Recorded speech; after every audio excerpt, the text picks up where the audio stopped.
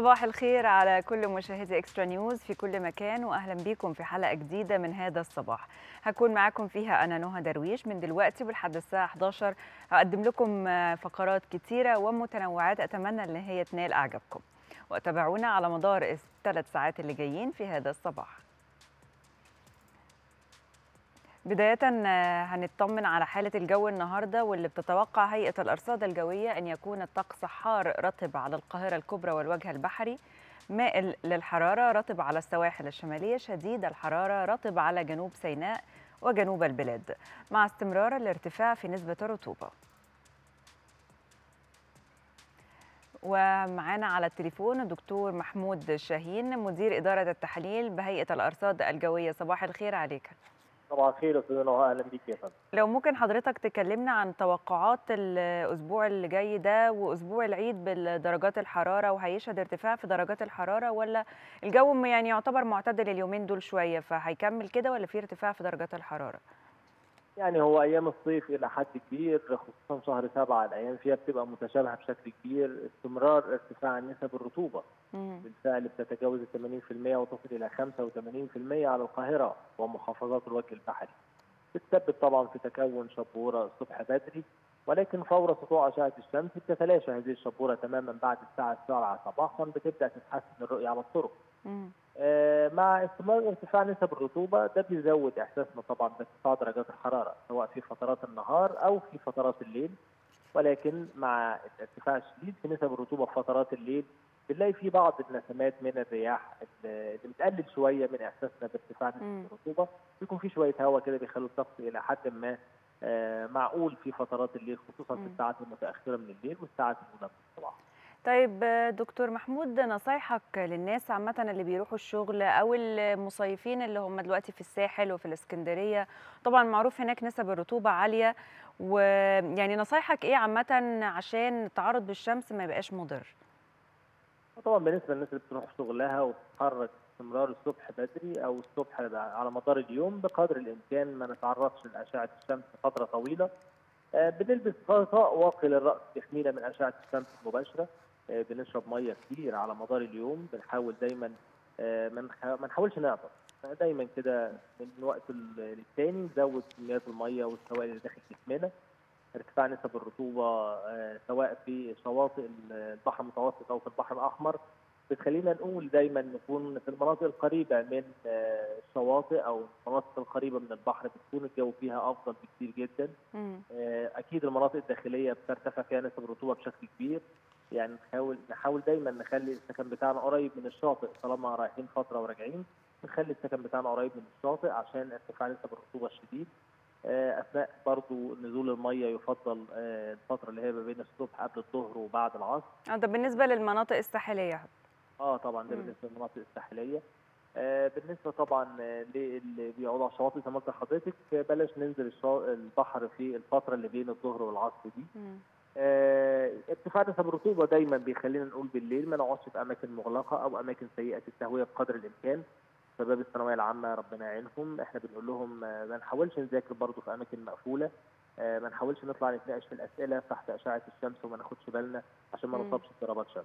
طيب حضرتك دكتور محمود الطقس المتوقع في العيد لا لسه العيد شوية لسه الأسبوع الجاي منتصف الأسبوع القادم فيعني مش عايزين نستبق الأحداث ولكن الأجواء هتكون متشابهة من حيث ارتفاع نسب الرطوبة مفيش كلام يعني. طب والمحافظات القبليه بشكل عام أكيد بتشهد برضه ارتفاع في درجات الحرارة اليومين دول. أكيد طبعا كل ما في المناطق الداخليه بترتفع درجة الحرارة من 40 ل 43 درجة مئوية ولكن هناك عامل آخر اللي هو نسبة الرطوبة أقل بكثير أقل بكثير. من سواحلنا الشمالية أو من شمال البلاد طبعا السواحل الشمالية الوجه البحري القاهرة.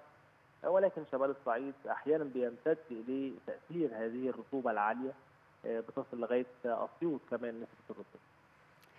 شكرا ليك شكرا جزيلا دكتور محمود شاهين مدير إدارة التحليل بهيئة الأرصاد الجوية ودلوقتي هنستعرض مع حضراتكم درجات الحرارة المتوقعة على بعض محافظات مصر القاهرة الصغرى 25 العظمى 36 الإسكندرية الصغرى 24 العظمى 31 مطروح الصغرى 23 العظمى 30 بورسعيد الصغرى 25 العظمى 32 العريش الصغرى 24 والعظمى 33 شرم الشيخ الصغرى 28 العظمى 38 الغردقة الصغرى 28 العظمى 38 المنيا الصغرى 24 العظمى 38 أسوان الصغرى 28 العظمى 41 وأخيرا حلايب الصغرى 29 والعظمى 35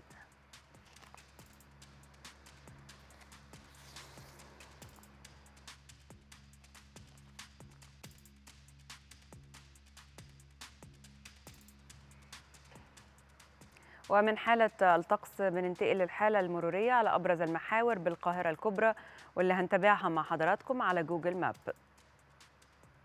وهنشوف مع حضراتكم دلوقتي الطريق الدائري اللي بيشهد سيولة مرورية في الاتجاهين إلا في نزلة محور 26 يوليو المتجهة إلى مدينة أكتوبر. كما بيشهد كوبري أكتوبر بعض التكدسات خصوصا في الاتجاه ناحية وسط البلد.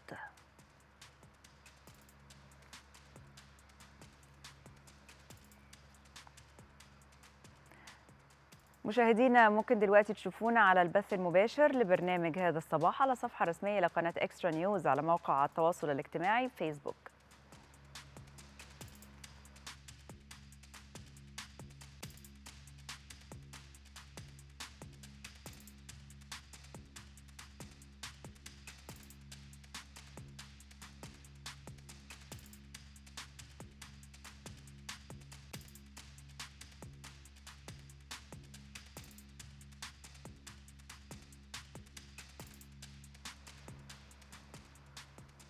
هنتعرف دلوقتي على أسعار العملات الأجنبية مقابل الجنيه المصري واللي سجلت استقرار في الأسعار المتداولة أمس مع إجازات البنوك. سجل سعر الدولار 15 جنيه و62 قرش للشراء و15 جنيه و72 قرش للبيع. أما سعر صرف اليورو فسجل 18 جنيه و40 قرش للشراء و18 جنيه و55 قرش للبيع.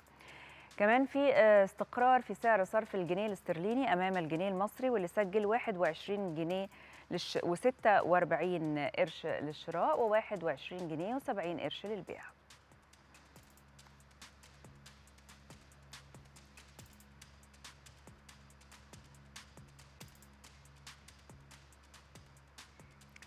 بالنسبة لأسعار الذهب النهاردة في الأسواق المصرية فسجل سعر الذهب عيار 18 امبارح 674 جنيه ونص. عيار 24 سجل 899 جنيه و40 قرش. عيار 21 سجل 787 جنيه للجرام. أما سعر الجنيه الذهب فسجل 6296 جنيه.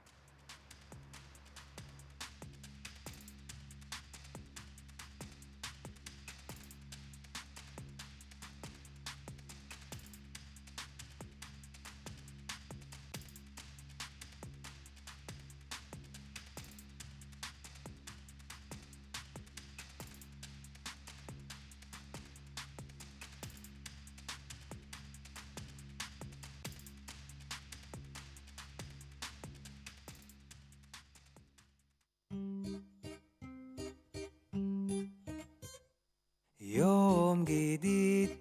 كله حياة شمسه بتبتسم وناس وهوا.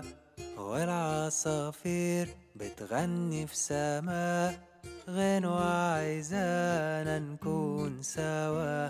مش ناقص غير القلب يدق يسهر الليل يحب ويتحب مش ناقص غير القلب يدق يسهر الليل يحب ويتحب ويلاقي نصه التاني ويروح يروح معاه ويملى الحياة.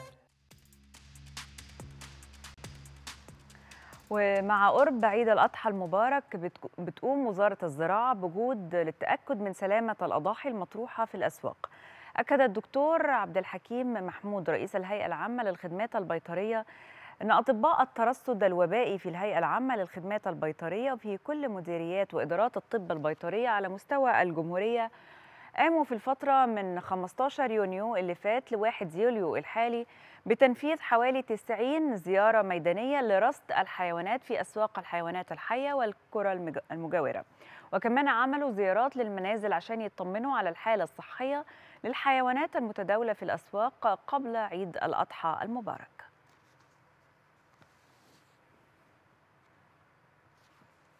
ومعانا على معانا على التليفون دكتور محمد القرش المتحدث باسم وزارة الزراعة. صباح الخير عليك.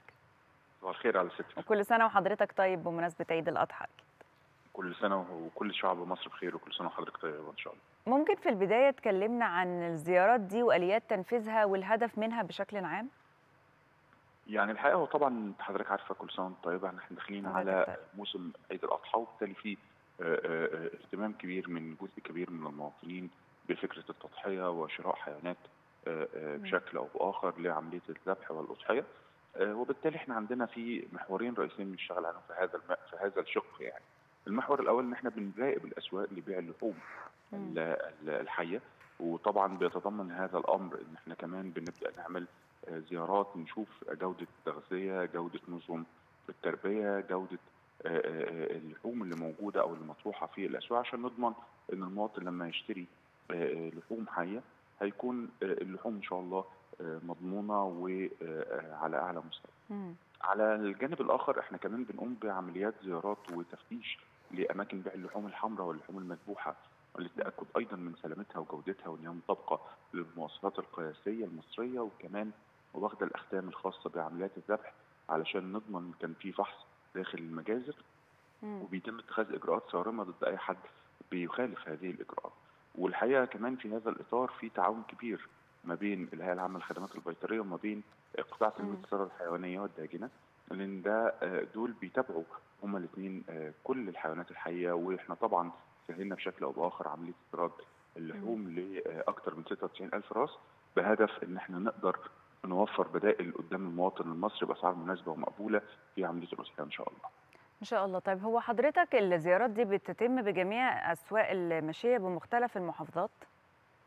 طبعا إحنا من خلال هيئه العامه للخدمات البيطرية ومديرياتها التابعة ليها في آه، كل المحافظات الجمهورية طبعا من خلال آه، آه، قطاع تنميه الثروه الحيوانيه والداجنه ومديريات. الزراعه التابعة ليه في كل محافظات الجمهورية فبالتالي موجودة والمديريات بتنزل بشكل مستمر وإحنا طبعا رفعنا درجة الاستعداد القصوى آه. داخل ال- ال- الوزارة بكل قطاعاتها آه، طبعا ده استعدادا لعيد الأضحى. ووقفنا الأجازات بالنسبة للأطباء اللي عاملين في المجازر آه، آه، وبدأنا يبقى في تركيز على آه، فكرة رقابة وسلامة المنتج.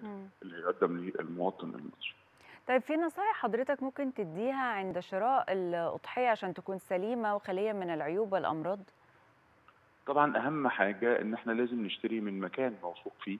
آه، لازم نكون آه، يعني وإحنا بنختار نختار الحيوان اللي ظاهريا يكون شكله سليم نشيط بيتحرك آه،. آه، يكون آه، عينيه لمعه يكون آه، واقف منتبه دي ويكون وسط مجموعة ما يكونش منعزل يعني وسط مجموعة من الحيوانات يكون بيتفاعل معها ما يكونش منعزل بشكل أو بآخر. فده دي دي أهم ال- الملامح الرئيسية وطبعا لو في حد يكون يعني يقدر يفحص الحيوانات يكون مع ال- ال- المشتري. أظن ده أيضا. هيكون خطوة مهمة جدا. طيب حضرتك لو ممكن تكلمنا عن آخر الاستعدادات والجهود لعيد الأضحى المبارك. طبعا الحقيقة إحنا عندنا جهود كبيرة قامت بها الوزارة خلال الفترة الأخيرة آه، ما بين مشروع البتيل وما بين مشروع آه، آه، آه، تحسين السلالات ومشروع مشروعات مراكز تجميل الألبان. الحقيقة المشروعات في مجال الإنتاج الحيواني. آه، كانت كبيرة جدا ومتنوعة ومتعددة. هدفها إن إحنا نزود من حجم المتاح والمعروض قدام المواطن المصري بهدف إن يحدث استقرار في الأسعار. طبعا ده بنلمس نتائجه آه، في هذه الفترة. كل هذه النتائج وكل هذه الجهود أكيد أكيد. من المصرية بنلمس. شكرا لحضرتك شكرا جزيلا. وكل سنة حضرتك طيب دكتور محمد القرش المتحدث باسم وزارة الزراعة.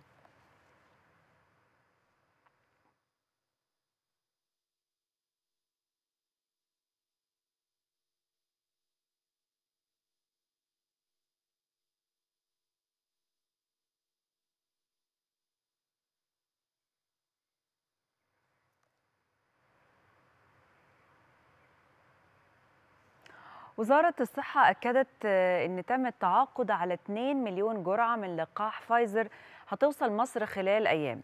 ده بالإضافة للتعاقد على لقاح جونسون أند جونسون اللي متوقع أنه يوصل مصر قريب برضه. ووضحت الوزارة أن باقي اللقاحات الخاصة بكورونا والمتوفرة في مراكز التطعيمات آمنة وفعالة وهيتم توفير كميات منها كبيرة خلال الفترة الجاية. ده طبعا بالإضافة للقاحات المصنعة محليا فاكسيرا سينوفاك واللي بيتميز بفاعلية كبيرة والجودة في التصنيع. كمان نفت الوزارة وقف التطعيم بلقاح أسترازينيكا. وقالت أن تلقي المواطنين لقاح أسترازينيكا مستمر في مصر في مراكز تلقي اللقاح على مستوى الجمهورية.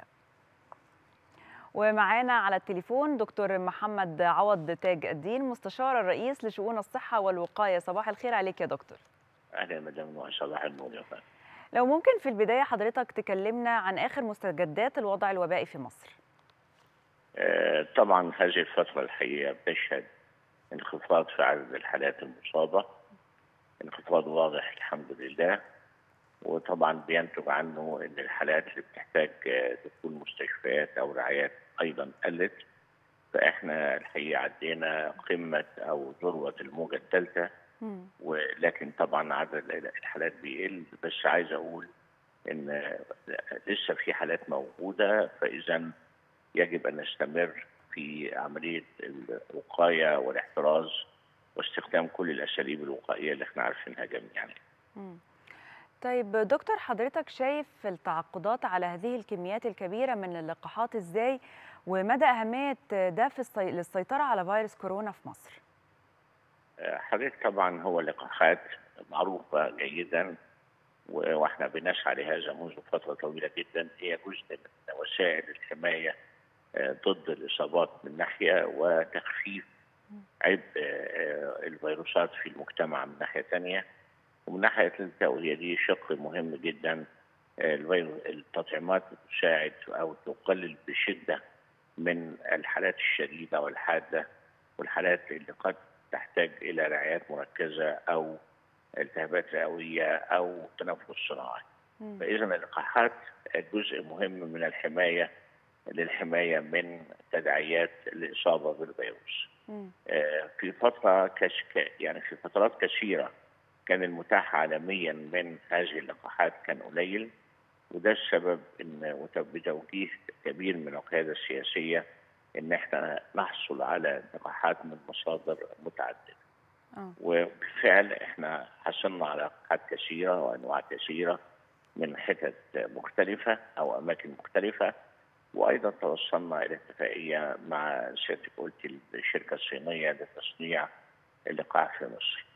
آه، فضل بقى نقطة مهمة إن وأيضا إحنا متفقين على أسترازينيكا وعلى جونسون جونسون وفي بعض الدول بتطلب عشان الناس المسافرين أنواع معينة من اللقاحات سواء مسافرين لعمل أو مسافرين لأداء إحدى الفرائض أو مسافرين لحضور آه، أي اجتماعات أو مؤتمرات في الخارج أو بيدرسوا في الخارج فالتطعيم هنا في بعض الدول طالبه أنواع معينة من التطعيمات آه. ولهذا السبب كان توفير هذه اللقاحات والحقيقة ال- الدولة وهيئة شراء الموحد بتقوم بدور كبير جدا في هذا توفير هذه الأنواع من اللقاحات بكميات تسمح آه، باستخدامها لبعض الفئات اللي محتاجاها.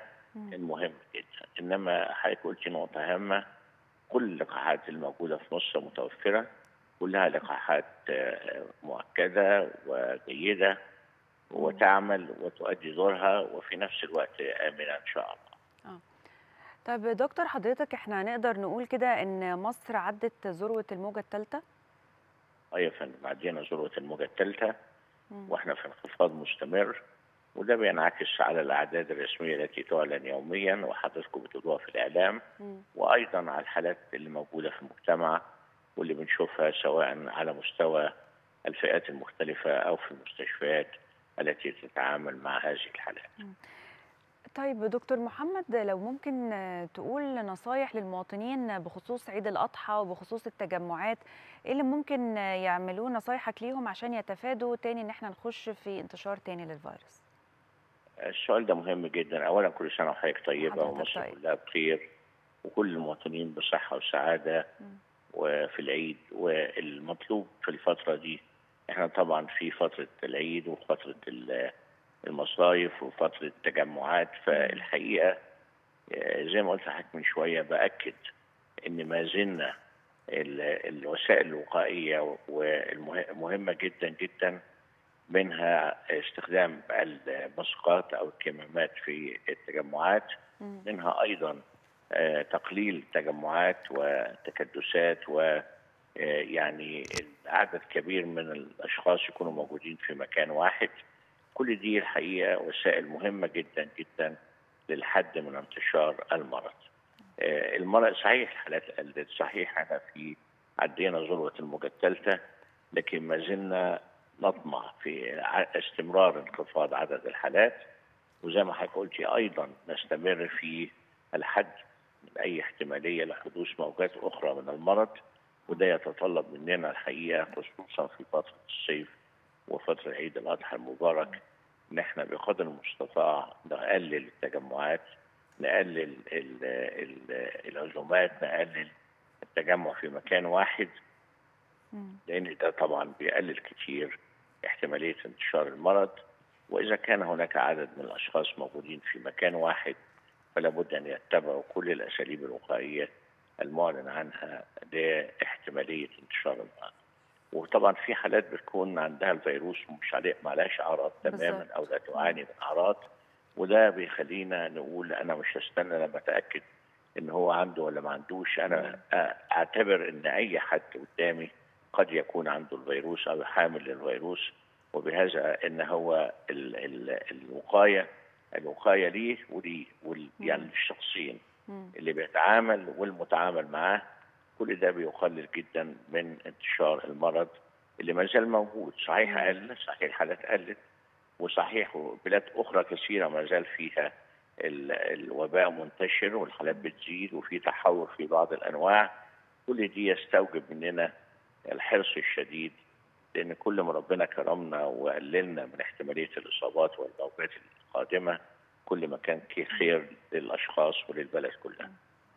طيب دكتور محمد في بعض المواطنين آه، يمكن دلوقتي هم بقوا نسبة أقل بكتير بس لسه متخوفين من التطعيمات نصايحك ليهم إيه إن هم يتجهوا للتطعيم لضرورة التطعيم عشان يتفادوا الحاجات الحالات الحرجة حضرتك آه، التطعيم زي ما قلت مهم مهم جدا مهم لأنه أهم أهم أهمية للتطعيم إن هو بيقلل من احتمالية انتشار المرض أيضا قد يقي قد يقي من الإصابة وحتى لو جت الإصابة بتكون أقل حدة وأقل شدة آه، من الإنسان اللي ما خدش اللقاح مم. والحاجة الثالثة وهي الأهم أنه بيقلل بشدة أيضا من الآثار الجانبية المحتملة الشديدة من التطعيم.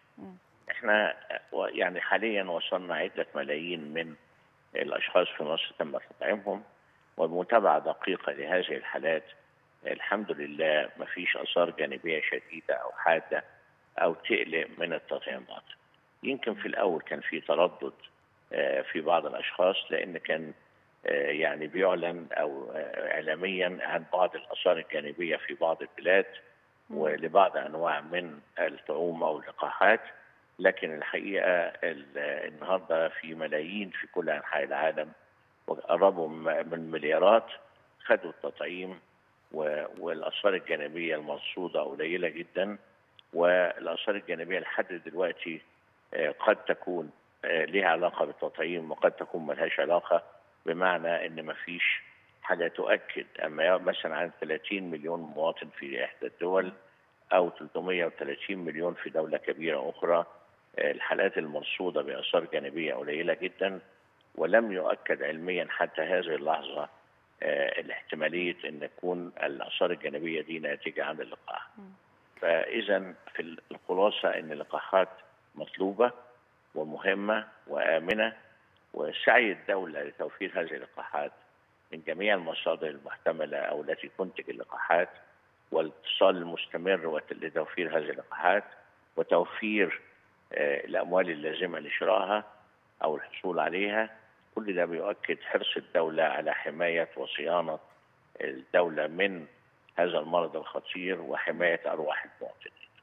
طب دكتور أخيرا كنت عايزة أعرف من حضرتك التطعيم آه، الكورونا هيكون سنوي زي تطعيم الأنفلونزا الموسمية ولا هو بس هيكون على جرعتين وخلاص كده بيبقى الإنسان خد وقاية من الكورونا؟ خد وقاية لمدة معينة. ويمكن إحدى الشركات الكبرى المنتجة لهذه اللقاحات أعلنت إنها محتاجة تدي بعد ست شهور وإحنا قلنا كده من زمان. والله حضرتك إن التطعيم ده تطعيم ضد الفيروسات. وإنه ما بيديش مناعة يعني يعني بنسميها solid immunity. في حضرتك بعض اللقاحات الواحد ياخدها ياخد مناعة وفي لقاحات أخرى بتحتاج آه، ما يسمى الجرعه المنشطه. آه، هو ده يمثل جدا التطعيم بتاع الإنفلونزا الموسمية. الانفلونزا الموسمية التطعيم بتاعها بيتكرر كل سنة. فإذا آه، بعد الفيروس ده إن شاء الله الوباء يعني حدته تختفي آه، وزي ما إحنا شايفين في حتى بلاد كثيرة جدا هناك تحول لهذا الفيروس وهذا طبيعي جدا أيضا. ولهذا السبب من المؤكد إن هذا التطعيم إذا استمر انتشار هذا الفيروس كوباء أو كفيروس من الفيروسات التي متوطنة في البلاد في معظم البلاد في هذه الحالة بيستوجب الأمر التطعيم سنويا وطبعا. وهي بدأت الشركات تعلن هذا فعلا يعني. وطبعا يا دكتور التطعيم سنويا ده بيكون على نفس النوع اللي أنا كنت واخداه قبل كده لا هي شوف سيادتك الفيروسات عندها حضرتك قدرة كبيرة على التحور والتحول هو نفس الفيروس اسمه كورونا كذا مم. إنما حضرتك ال- السلالات أو الطفرات اللي بتحصل في الفيروس بتقدر الشركات المنتجة للقاحات إنها تعرف هذه الطفرات وتحددها. على هذا الأساس بيكون التطعيم. اللاحق بيكون آه، يعني يشمل هذه السلالات أو هذه الطفرات وعشان كده هو نفس الفيروس آه لكن ما تحت الفيروس الأساسي بيبقى فيه تحورات واللقاحات الجديدة بتشمل آه، تطعيم ضد هذه الطفرات أو هذه السلالات. شكرا ليك شكرا جزيلا دكتور محمد عوض تاج الدين مستشار الرئيس لشؤون الصحة والوقاية وكل سنة وحضرتك طيب.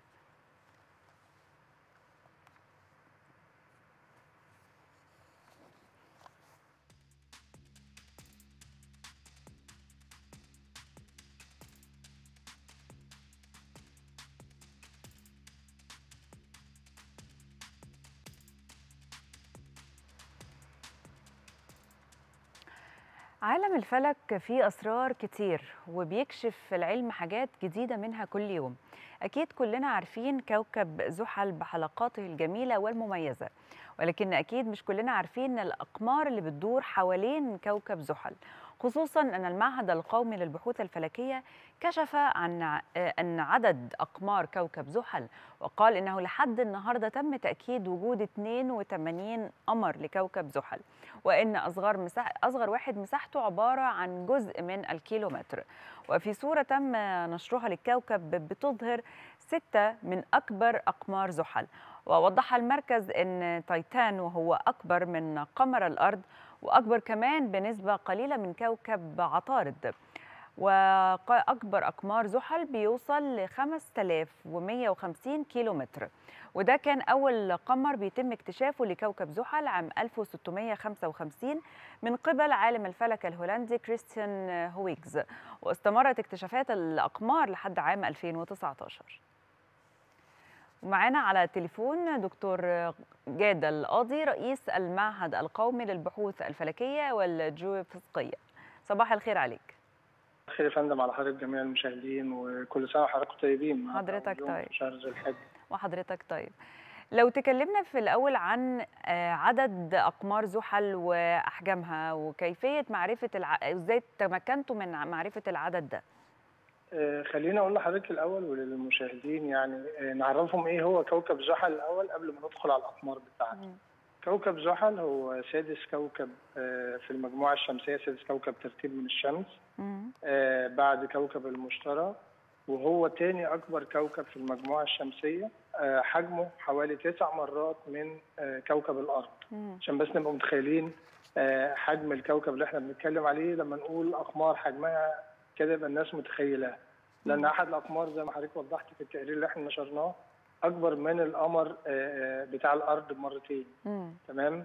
آه، إحنا عندنا ال- اللي تم اكتشافه حاليا حتى الآن من أقمار حوالين كوكب زحل هم 82 قمر. وليه هنقول حتى الآن؟ لأنه حضراتكم عارفين الفترة الأخيرة يمكن العشر سنين الأخيرة تحديدا في سباق رهيب في برامج اكتشاف الفضاء. برامج فضائية اتعملت خصيصا لاكتشاف الكواكب المحيطة بينا ويمكن كان أحدث حاجة آه، المركب الروبوت اللي نزل على كوكب المريخ عشان يصور أرض المريخ وياخد منه عينات الهدف من كل الرحلات والبرامج الفضائية آه، اكتشاف الفضاء الخارجي آه، اكتشاف هل في حياة في الخارج ولا لأ. هل الكواكب دي تصلح للحياة الآدمية من عدمه؟ وطبعا ده بيرد على جزء من الشائعات اللي بتروج من حين لآخر آه، الأطباق الفضائية اللي موجودة وكائنات فضائية. طبعا الكلام ده كله مش موجود لأن لو كان موجود كانت الرحلات الفضائية اللي بره دي صورت الكواكب والكائنات الفضائية أو الأطباق الطائرة اللي بتيجي آه، كما الشائعات بتقول. نرجع لكوكب زحل آه، هو فعلا يمكن ال- الحلقات اللي إحنا بنشوفها الجميلة اللي حواليه دي هي ده آه، تجميع للاقمار اللي بتدور حواليه آه، كلما ازدادت تكنولوجيات الرصد كلما قدرنا نتعرف على آه، تفاصيل أكتر للأقمار ديت وأعدادها وحجمها يمكن ما يميز كوكب زحل إنه كوكب غاز إحنا عندنا المجموعة الشمسية الكواكب اللي فيها كواكب صخرية زي الأرض والمريخ.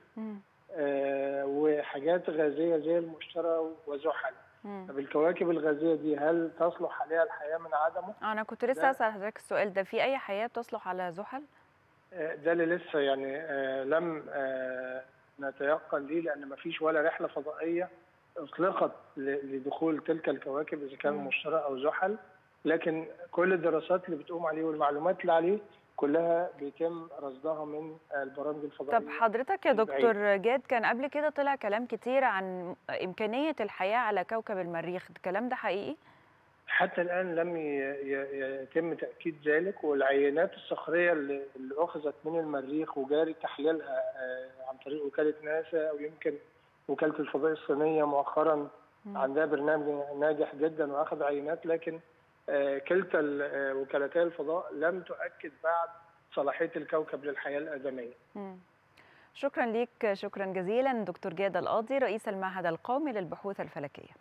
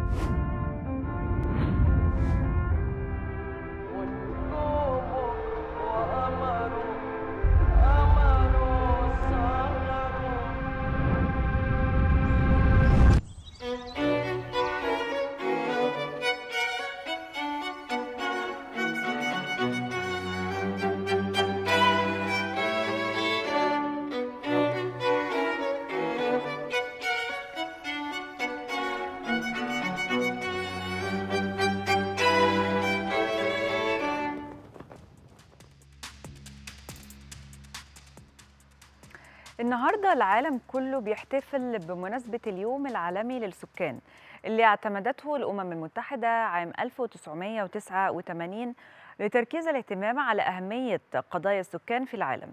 بدأ الاحتفال به لأول مرة في 1990 وده كان بسبب وصول عدد سكان العالم لخمسة مليار نسمة في 1987 وده الرقم اللي زاد بشكل كبير ووصل عدد سكان العالم في أول شهر يوليو 2021 لحوالي 7 مليار و900 مليون نسمة.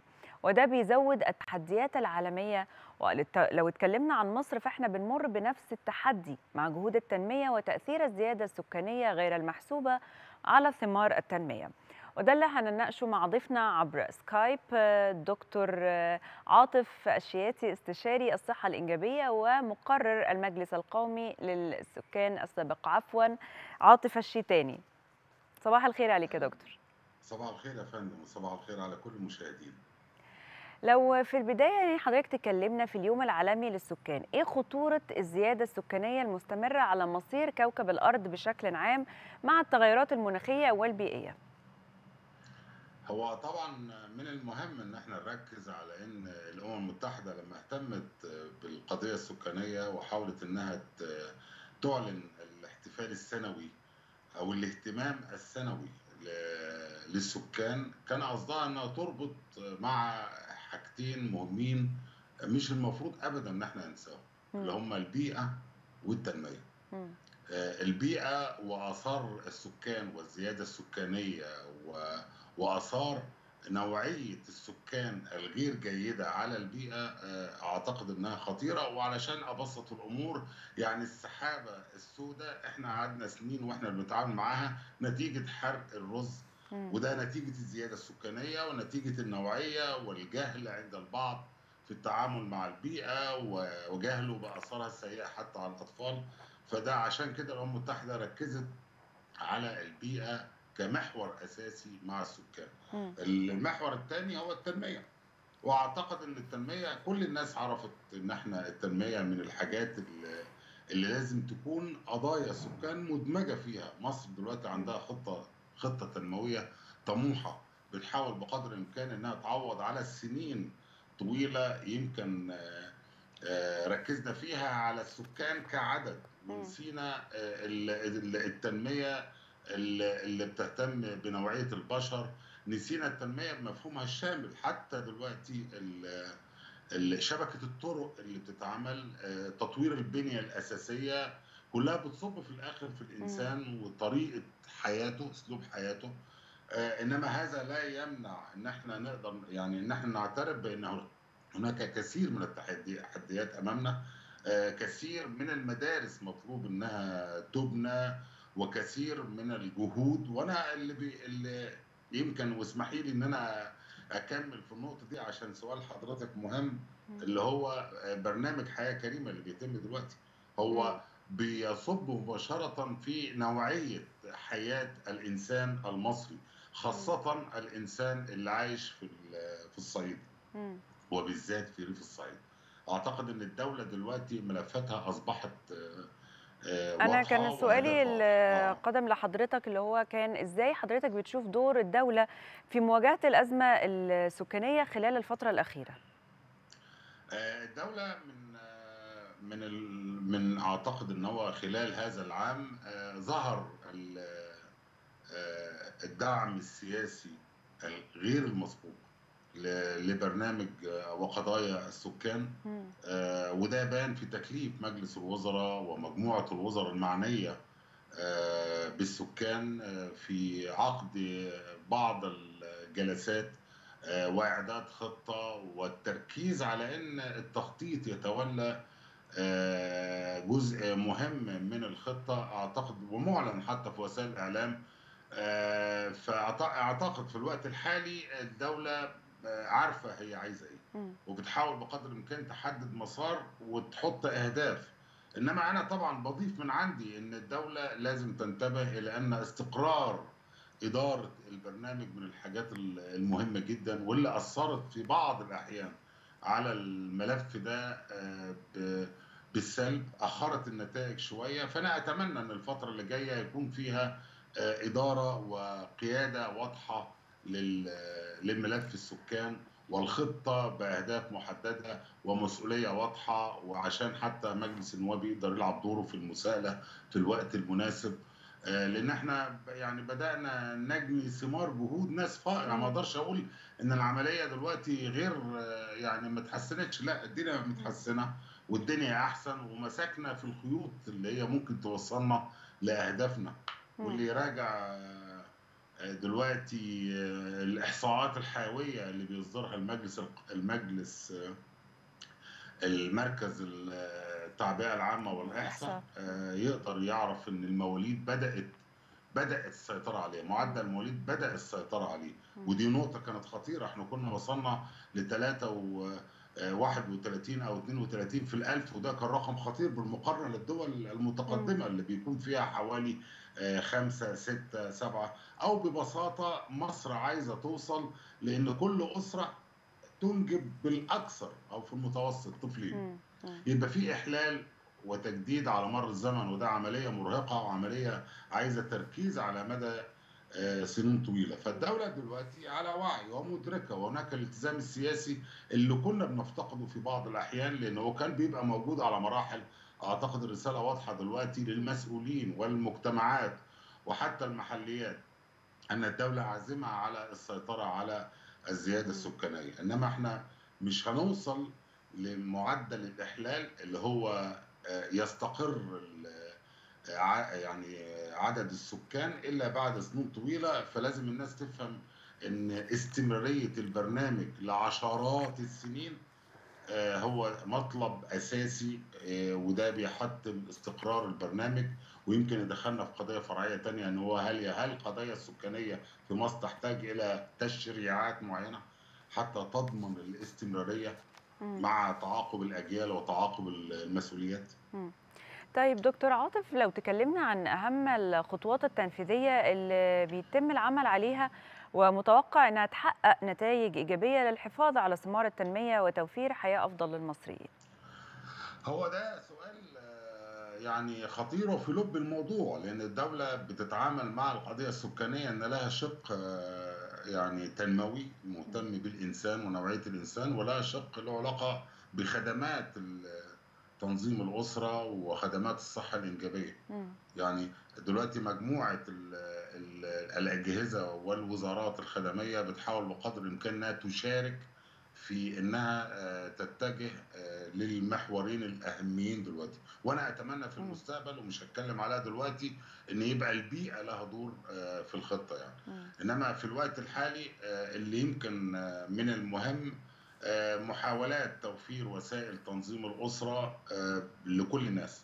أي نعم هو اتحدد آه، مجانية الوسائل أو تم إقرار مجانية الوسائل عن طريق وزارة الصحة إنما وزارة الصحة هي بتشارك تقريبا في نص سوق خدمات تنظيم الأسرة مم. يعني وزارة الصحة عملت اللي عليها وبتوفر الوسائل عن طريق أكثر من 5000 عيادة تنظيم أسرة موجودة على مستوى الجمهورية في المقابل القطاع الخاص بيشارك عن طريق الصيدليات والعيادات الخاصة ودي نقطة مهمة لأن مم. الست البسيطة لو ما لقتش كمثال أو الوحدة الصحية بعيده عنها أو على الأقل ممكن تروح للعيادة الخاصة عشان ت... أو الصيدلية عشان تشتري هتلاقي في فرق جامد ما. بين وسيلة منع حمل مجانية داخل وزارة الصحة زي برشام منع الحمل وبرشام مثلا ب 40 جنيه مثلا موجود. في الصيدلية فدي نقطة مهمة الدولة بتعمل عليها بس أنا أعتقد إن برضو علشان أكون كلامي موضوعي إن القطاع الخاص لازم يكون له دور مشارك ودور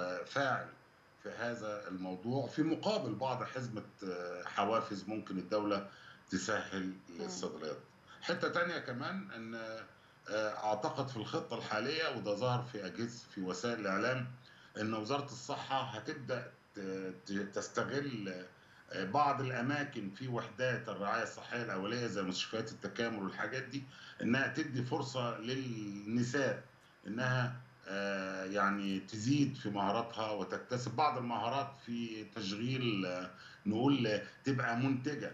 فيعني منتجة داخل الوحده الصحيه دي فكرة طبعا عظيمة وأعتقد إن هو أكتر من جهة محتاجة إنها تشارك في هذا الموضوع ووضع معايير وتشجيع النساء على إنها تتردد على الوحدة ليس بغرض الخدمات الصحية فقط ولكن بغرض آه، آه، أهداف تنموية لها ولأسرتها يعني. ده بالنسبة للخدمة. مم. النقطة الثانية إن وزارة الصحة أو الحكومة نقول الدولة دلوقتي لأن الدولة هي اللي متولية الملف بالكامل بقدر الإمكان بتحاول إنها توسع الاختيارات توسع دائره الاختيارات من وسائل من الحمل أمام الستات. يعني الستات دلوقتي آه، آه، تقدر آه، تاخد كبسولات تحت الجلد لمدة ثلاث سنين تاخد اللوالب وعلى فكرة برضو العلم أثبت إن إن الناس البسيطة الستات البسيطة اللي هم أكثر انجابا. بيحتاجوا لوسائل منع الحمل أكثر فعالية وأكثر آه، فترة للاستخدام يعني اللولب مم. ممكن يقعد آه، 12 سنة آه، الكبسولة تحت الجلد ممكن تقعد ثلاث سنين أحسن من برشام ممكن تنساها حقنة مم. ممكن تنساها كل ثلاث شهور يعني دي قصة يعني طب دكتور عاطف معلش أنا آه. أستأذن حضرتك آه، تخليك معانا وهنستعرض مع حضرتك بعض المعلومات عن أهمية آه، اليوم العالمي للسكان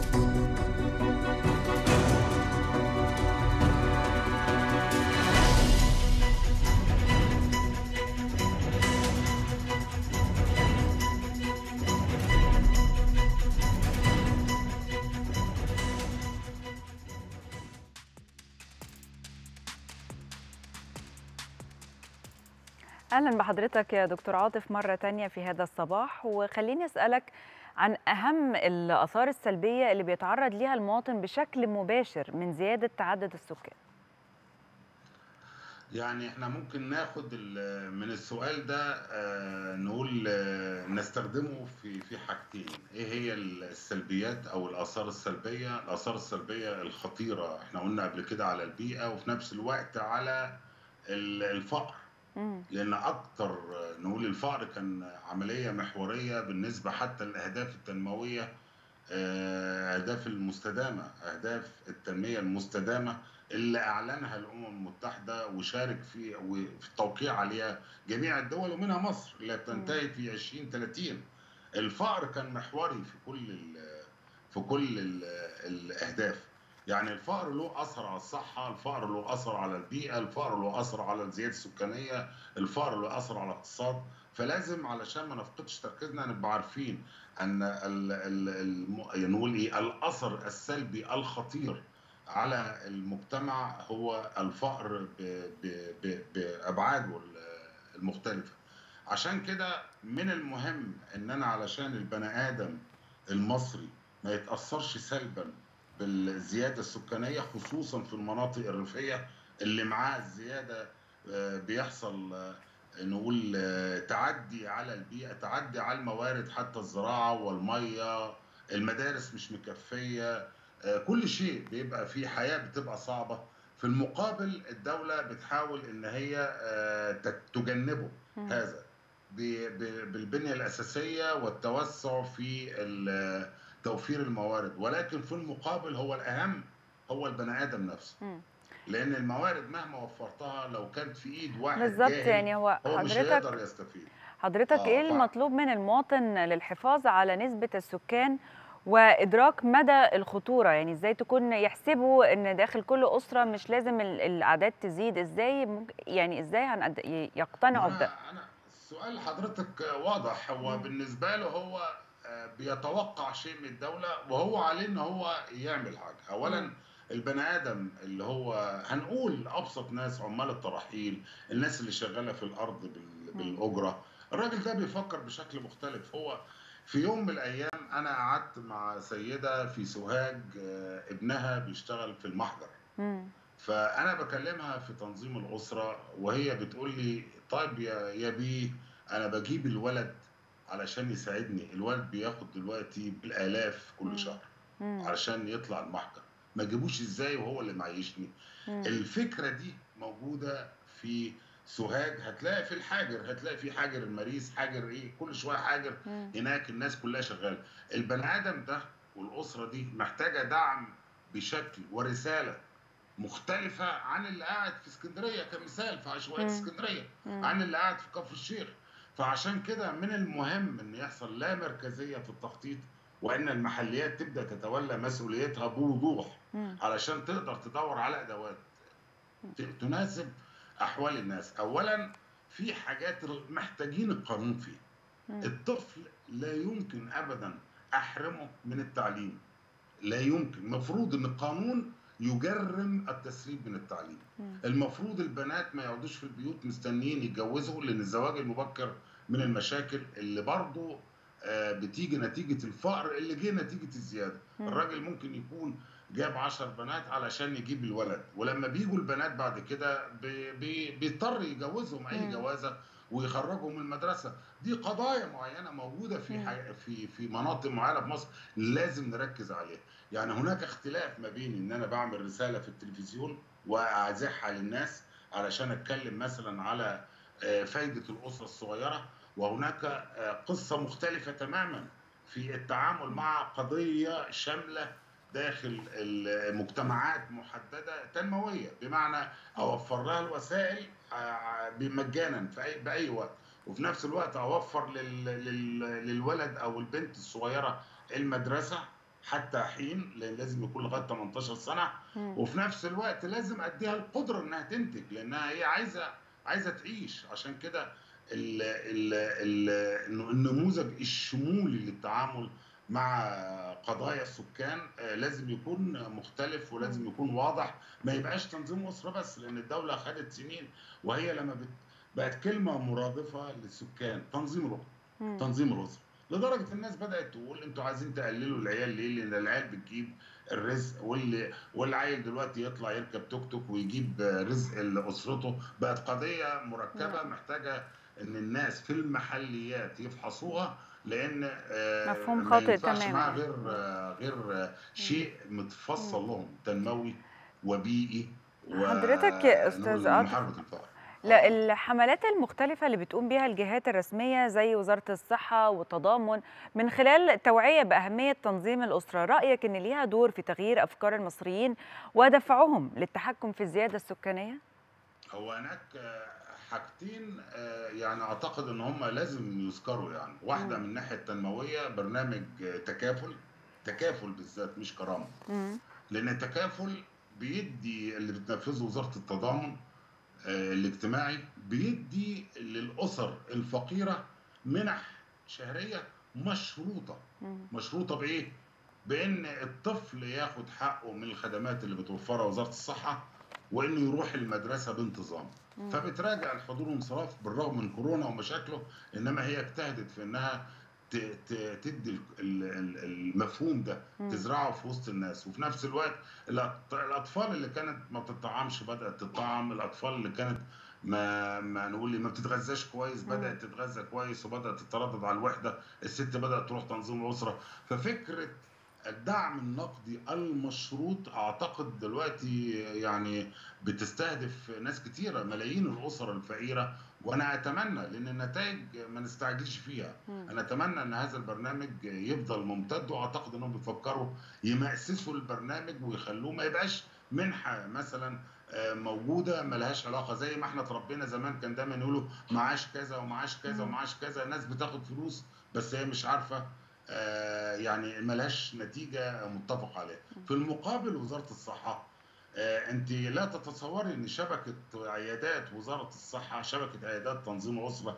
واللي بتقدم خدمات الصحة الإنجابية مم. آه، شبكة رهيبة يعني. هي بتعدي دلوقتي 6000 وعندهم عيادات متنقلة فهي موجودة في كل حتة. مم. يعني وبعدين بتقدم العيادات بتقدم مجانا والوحدات الصحية بتقدم مجانا. هو ناقص ناقص بعض الإجراءات أعتقد إن هم في سبيلهم إن هم يتعاملوا معاها هي بزيادة الثقة بين ال- البني آدم البسيط الأسرة البسيطة وعيادة تنظيم الاسره. هو في في حاجات الدولة محتاجها من خلال التشريعات برضه أنا بعيد وأكد كمثال إن مش أي حد يقدر يدخل عيادة تنظيم الاسره غير الست. إنما طب الراجل لما يحب يسأل يروح فين؟ هو يخجل إنه يدخل عيادة تنظيم اسره.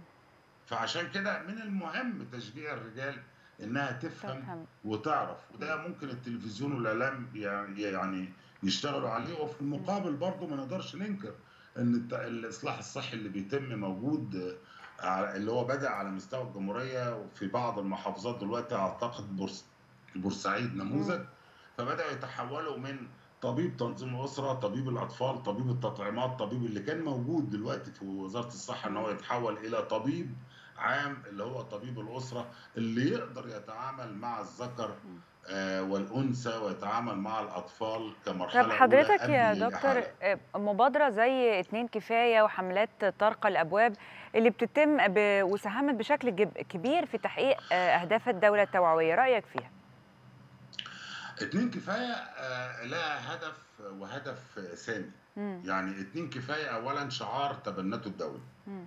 وهذا الشعار هو أعتبريه كأنه نصيحة للأسر هم اتنين كفاية بس هو الحوار لازم هيمتد يعني هو وزارة التضامن آه، شاركت في إن اتنين كفاية يبقى سلوجان كده الدولة عارفاه. والناس عارفاه إنما هو ما يقدرش يقف لوحده لأن الناس ممكن تسأل البساط بالذات. ليه اتنين كفاية.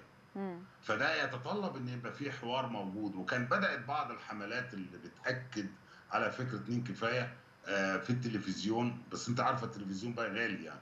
يعني مم. دلوقتي مش هي محتاجة إنها تستمر. يعني الحوار الدائر بين الناس في المجتمع مستمر. اتنين كفاية هو مشروع بتنفذه وزارة التضامن عن طريق آه، آه، شبكة من عيادات تنظيم الأسرة والصحة الإنجابية. يعني الحوامل بيتم تقديم خدمات رعاية الحمل ليهم من خلال جمعيات أهلية. فهو ليس تنافسي مع وزارة الصحة ولكن مكمل مع وزارة الصحة. فالخلاصة إن وزارة التضامن هي آه، بتلعب دور فاعل تنموي وفي تقديم الخدمة. للفئات بالذات الغير قادرة. وفي المقابل وزارة الصحة بتقدم الخدمة لفئات لنفس الفئات يعني الست دلوقتي بقى قدامها يا تروح العيادة الجمعية الأهلية بس بتروح بعد الظهر يا إما تروح وزارة الصحة فكل ال- الجهات بتشارك في. عملية التنمية وفي عملية تقديم الخدمة وفي عملية ال- الحفاظ على البيئة اللي أنا أتمنى إن يبقى جزء لا يتجزأ من البرنامج في الوقت الحالي يعني. طب في رأيك أخيرا دكتور عاطف الحملات اللي حصلت واللي قامت بيها الدولة قامت بالفعل بتصحيح المعتقدات الخاطئة والأفكار الخاطئة أن زيادة الإنجاب عزوة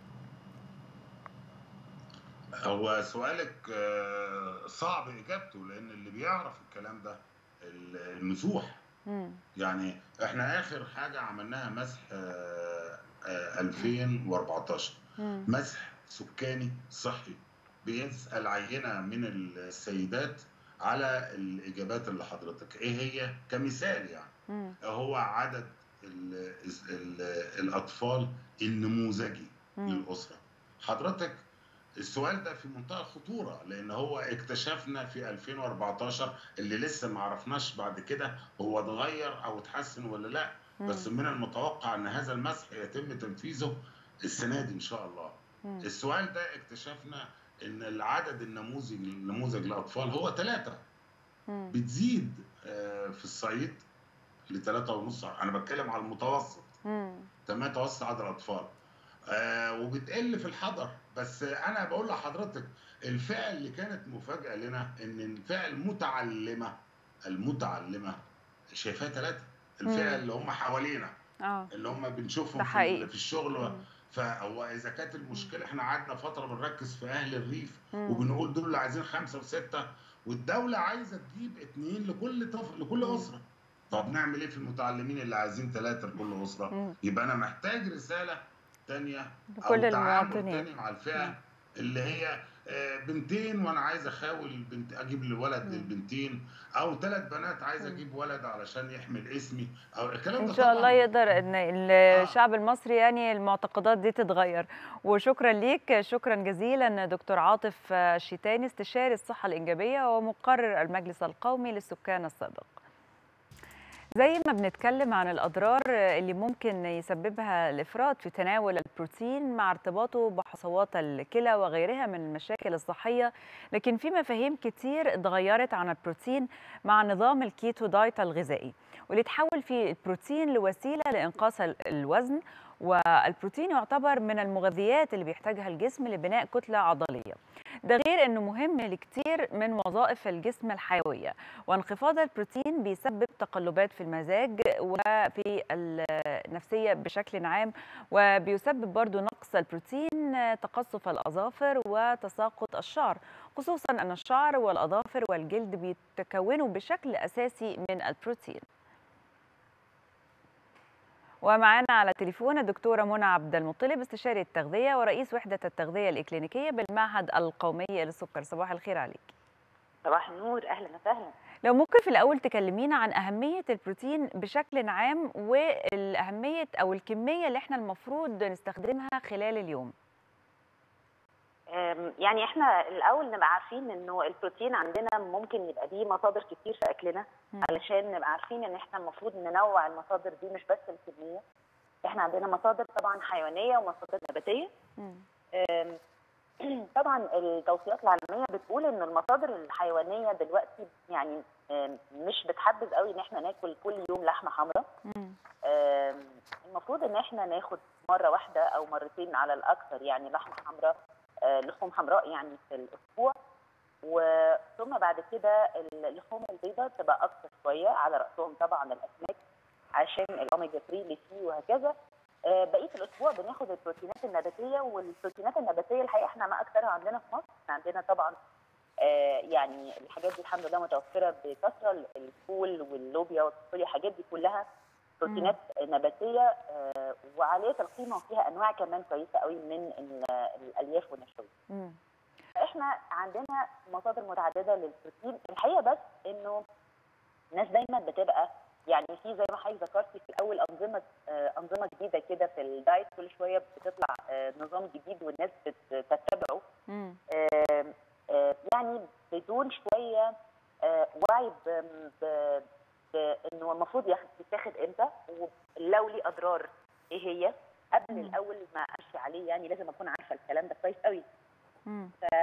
في عندنا حضرتك ذكرت ذكرتي زي نظام الكيتو مثلا الكيتو. هو الكيتو بيعتمد mainly أو يعني الدهون والبروتينات على الدهون مم. نسبة الدهون فيه بتتعدى ال 70 وال 75% من السعرات الكلية مم. فلك ان تتخيلي حضرتك إن إحنا فاضل لنا 25% بس ناخد فيهم النشويات والبروتين بس هو بيبقى ما فيهوش نشويات تقريبا خالص. آه، في بنسبة قليلة جدا يعني من 5 ل 10% مم. و15% بروتين. الحقيقة إنه آه، يعني برضه النظام ده ليه يعني التوصيات بتاعته في حالات معينة ممكن يتاخد لفترة معينة ما إحناش بنمشي عليه طول الوقت مش أي حد المفروض يمشي عليه زي المرضى اللي عندهم مثلا كوليسترول مرتفع وهكذا. فليه آه، يعني توصيات معينة أو آه، متطلبات معينة عشان أمشي المريض عليه. مم. إنما لو بنتكلم على البروتين بقى فالبروتين آه، دايما إحنا بنشوفه في مشكلة شوية في الناس اللي هم الفيجيتيريان. آه. عارفة حضرتك الناس النباتيين ما بياخدوش مصادر للبروتين في أكلهم حيواني؟ بياخدوه نباتي. فبياخدوه نباتي فقط. آه، الحقيقة إن النظام ده صحي جدا. ولكن مشكلته في إنه البروتين الحيواني لما ما بيتاخدش خالص إحنا جسمنا بينقص آه، يعني أحماض آه، أمينية معينة ما بيقدرش يصنعها إنما ما. بياخدش المصدر الحيواني بتنقص عندنا. طبعا زي ما حضرتك قلتي البروتين بيدخل في البناء بتاع كل حاجة في جسمنا في. العضلات وفي العظم وفي الشعر وفي السنان وكل حاجة آه، فإحنا لما بينقص عندنا هذه الأحماض الأمينية عشان ما بناخدش بروتين حيواني بنخش بقى في مشاكل كتيرة قوي فهي دي بقى الحتة اللي إحنا عايزين ناخد بالنا منها في أنظمة من ال ال الأنظمة النباتية دي يقول لك مثلا إنه أنا نباتي بس باكل بيض أو بشرب. لبن أو أنا نباتي بس باكل سمك. دي الحقيقة اللي هي البس يعني هي دي أحسن الحاجات لأن أنت كده يعني خدتي الاثنين. خدتي المصدر النباتي الكويس المفيد جدا جدا لحاجات كتير جدا في جسمنا وفي نفس الوقت اخدتي المصدر الحيواني اللي هو بيديك الحاجات اللي جسمك مش هيقدر يصنعها أو ال- الأحماض الامينيه دكتور الإفراط عامة في تناول البروتين في ناس بالذات اللي بيتمرنوا آه، في الجيم في المكملات الغذائية اللي هو البروتين شيك وفي البروتين بقى نفسه اللي هو بيتاخد آه، اللي هو اللحوم والفراخ وكل الحاجات دي. أضرارها لو زادت بتضر إيه؟ إيه الوظائف اللي في الجسم اللي بتتأثر بطريقة سلبية بيها؟ يعني أنا بشكرك جدا على السؤال ده لأنه فعلا إحنا بنشوف ناس بقى العكس تماما بياخدوا كمية بروتينات عالية قوي قوي. آم، لازم نبقى واخدين بالنا من حاجة. البروتين زي ما هو مفيد جدا للعظم وللبناء عموما في الجسم كمان لو خدتي منه كتير بينزل الكالسيوم في البول. مم. فتلاقي إنه أثر على صحة العظم والسنان. آه. فدي نقطة مهمة جدا. تاني حاجة ده ممكن يعلي آه، أملاح اليوريك أسيد حضرتك عارفة مرض. النقرس آه و- طبعا والبروتينات وعلى رأسها طبعا اللحوم ال- الحمراء. اللحوم الحمراء والأعضاء الداخلية والاسماك الحاجات دي كلها في محتوى عالي من ال uric acid أو. حمض اليوريك أو اليوريك فعشان كده آه، إحنا المفروض إن الحاجات دي لو لو اخذنا بروتين بكمية كبيرة وفي على فكرة أماكن عندنا في مصر أنا شفت قرية التناول بتاعها من اللحوم الحمراء عالي جدا جدا وفعلا القرية دي معظم سكانها بيعانوا فعلا من ارتفاع آه، النقرس نسبة النقرس عندهم والكوليسترول. وهشاشة العظام بسبب إنه الكالسيوم بينزل في الجسم فدي. طبعا كلها أضرار من زيادة تناول البروتين إنما إحنا ممكن ناخده آه، زي ما حضرتك قلت نبات. في ال- في المصادر النباتية وممكن ناخده كمان مصادر حيوانية بعد زي ما قلتي فترة التمرين أنا مهم جدا جدا بالنسبة لي أي حد بيتمرن التمرين أ- أكتر من ساعة وقت ياخد بروتين بروتين في أول نص ساعة على طول. بس المعلومة اللي عايزين نصلحها عند الناس إنه من فضلك خد البروتين الطبيعي. لا هما طبعا يعني- بيستسهلوا لأن ال protein shake ده بيبقى موجود في الجيم أو معاه جاي بيه في خمس دقائق بياخده وبيبقى كده كأنه كل مثلا نص فرخة. فده طبعا استسهال. بدايل آه لا إحنا عندنا بدايل طبيعية لده ممكن نقولها لهم بمنتهى البساطة. إحنا لو خدنا كوباية لبن دي بروتين إحنا لو خدنا Greek yogurt أو زبادي أو اليوناني. فرخة أو زبادي أو مم. يعني كل الحاجات دي مصادر للبروتين علبة تونة يعني عندنا مصادر كتيرة جدا البروتين يقدر ياخدها المشكلة إنه لما بياخد المصدر الصناعي بمختلف أنواعه وحضرتك تسمعي إن في امينو اسيد بتتاخد لوحدها. وكده ده كل ده بيعمل حمل على الكلية رهيب كده آه ومع الوقت بتلاقي إنه للأسف الشديد إحنا عايزين نبني جسمنا ونلعب رياضة وجسمنا يبقى صحة أكتر لكن بتلاقي إن وظائف الأعضاء تأثرت بالسلب فهي دي بس النصيحة يعني إنه إحنا ناخد البروتين في أول نص ساعة بعد التمرين ويبقى. البروتين من مصدر طبيعي وفي طبيعي. حاجات كتير قوي سهلة نقدر طب هي البروتينات النباتية بتبقى نسبة ال ال ال البروتين فيها عالية زي البروتينات الحيوانية ولا لأ ده حقيقي فعلا اللي ماشي على النظام النباتي لو أخدت حضرتك ثلاث معالق فول بيبقى فيها 7 جرام بروتين زي البيضة لما هتاخديها بتبقى 7 جرام بروتين. الفرق بيبقى في حاجة اسمها ال biological value أو القيمة الغذائية بتبقى يعني الأحماض الأمينية أعلى آه، أو يعني أنواعها آه، زي ما قلت لك في ال- في الحيواني بيبقى فيه كل الأحماض الأمينية. في آه النباتي بيبقى ناقص واحد فالنقصان ده هو اللي بيخلينا نقول إنه ناخد البروتين الحيواني بعد التمرين أو لو في فترة فيها آه، بناء يعني. آه، لكن الناس اللي ما تقدرش مثلا في ناس تقدرش تشتري بروتين حيواني كل يوم. بيبقى ليهم حل بسيط قوي. آه، بنقدر برضو نقوله لهم إنه آه، الحمد لله ربنا يعني خلق لنا الحاجة. آه ناقص البروتين النباتي ده ناقص حمض أميني بس كل نوع ناقص حمض غير التاني فحضرتك لو حطيتيهم على بعض يبقى أنت كده خدتي بروتين كامل. زي مثلا. وجبة الكشري اللي إحنا بناكلها. آه. هي بيبقى فيها آه، عدس. وبيبقى فيها حمص ويعني بيبقى فيها مختلف أنواع من مصادر البروتين. طب آه، دكتور كنت عايزة أسأل حضرتك عن آه، الملوخية أهمية الملوخية كان في دراسات كتيرة في الفترة اللي فاتت قالت إن هي ليها دور في علاج الاكتئاب والقولون وفيها كمان فيتامينات كتيرة قوي مغذية. الكلام ده حقيقي ولا إيه- إيه مدى صحته؟ الحقيقة يعني ده مش الملوخية بس دي الحاجات الخضراء اللي هي الداكنه الأوراق ال- الخضراء الداكنه عموما. آه، هتلاقي حضرتك فيها آه، اللي بتقولي عليه ده بالظبط. مليانة بوتاسيوم ومليانه ألياف غذائية مفيدة جدا جدا. ده plus كمان إن إحنا عندنا يعني طرق بقى التحضير الطعام نفسها. إحنا كمصريين بتضيع الثوم. فايدتها. آه انت آه okay. فبتقولي إيه؟ لما لا كنت بقولك لو الحاجة اتطبقت أكتر ممكن تضيع فايدتها على النار. آه طبعا هو. الفيتامينات بتتأثر بالحرارة. عشان. كده إحنا لازم ناخد الحاجة fresh وده ممكن نحققه بسبب السلطة.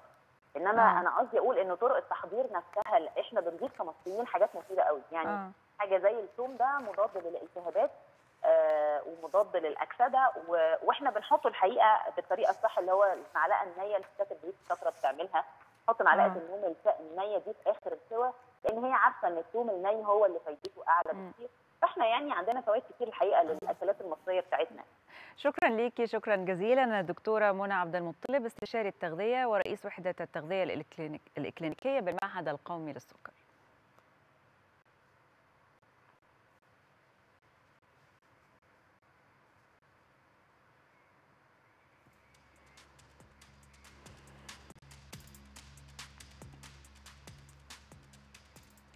في استمرار لنشاط المبادرة الرئاسية حياة كريمة نظمت إدارة القوافل الطبية في مديرية الصحة والسكان بقنا قافلة طبية مجانية في مختلف التخصصات والتي استقرت في الوحدة الصحية لقرية الرحمانية التابعة لمركز نجا حمادي.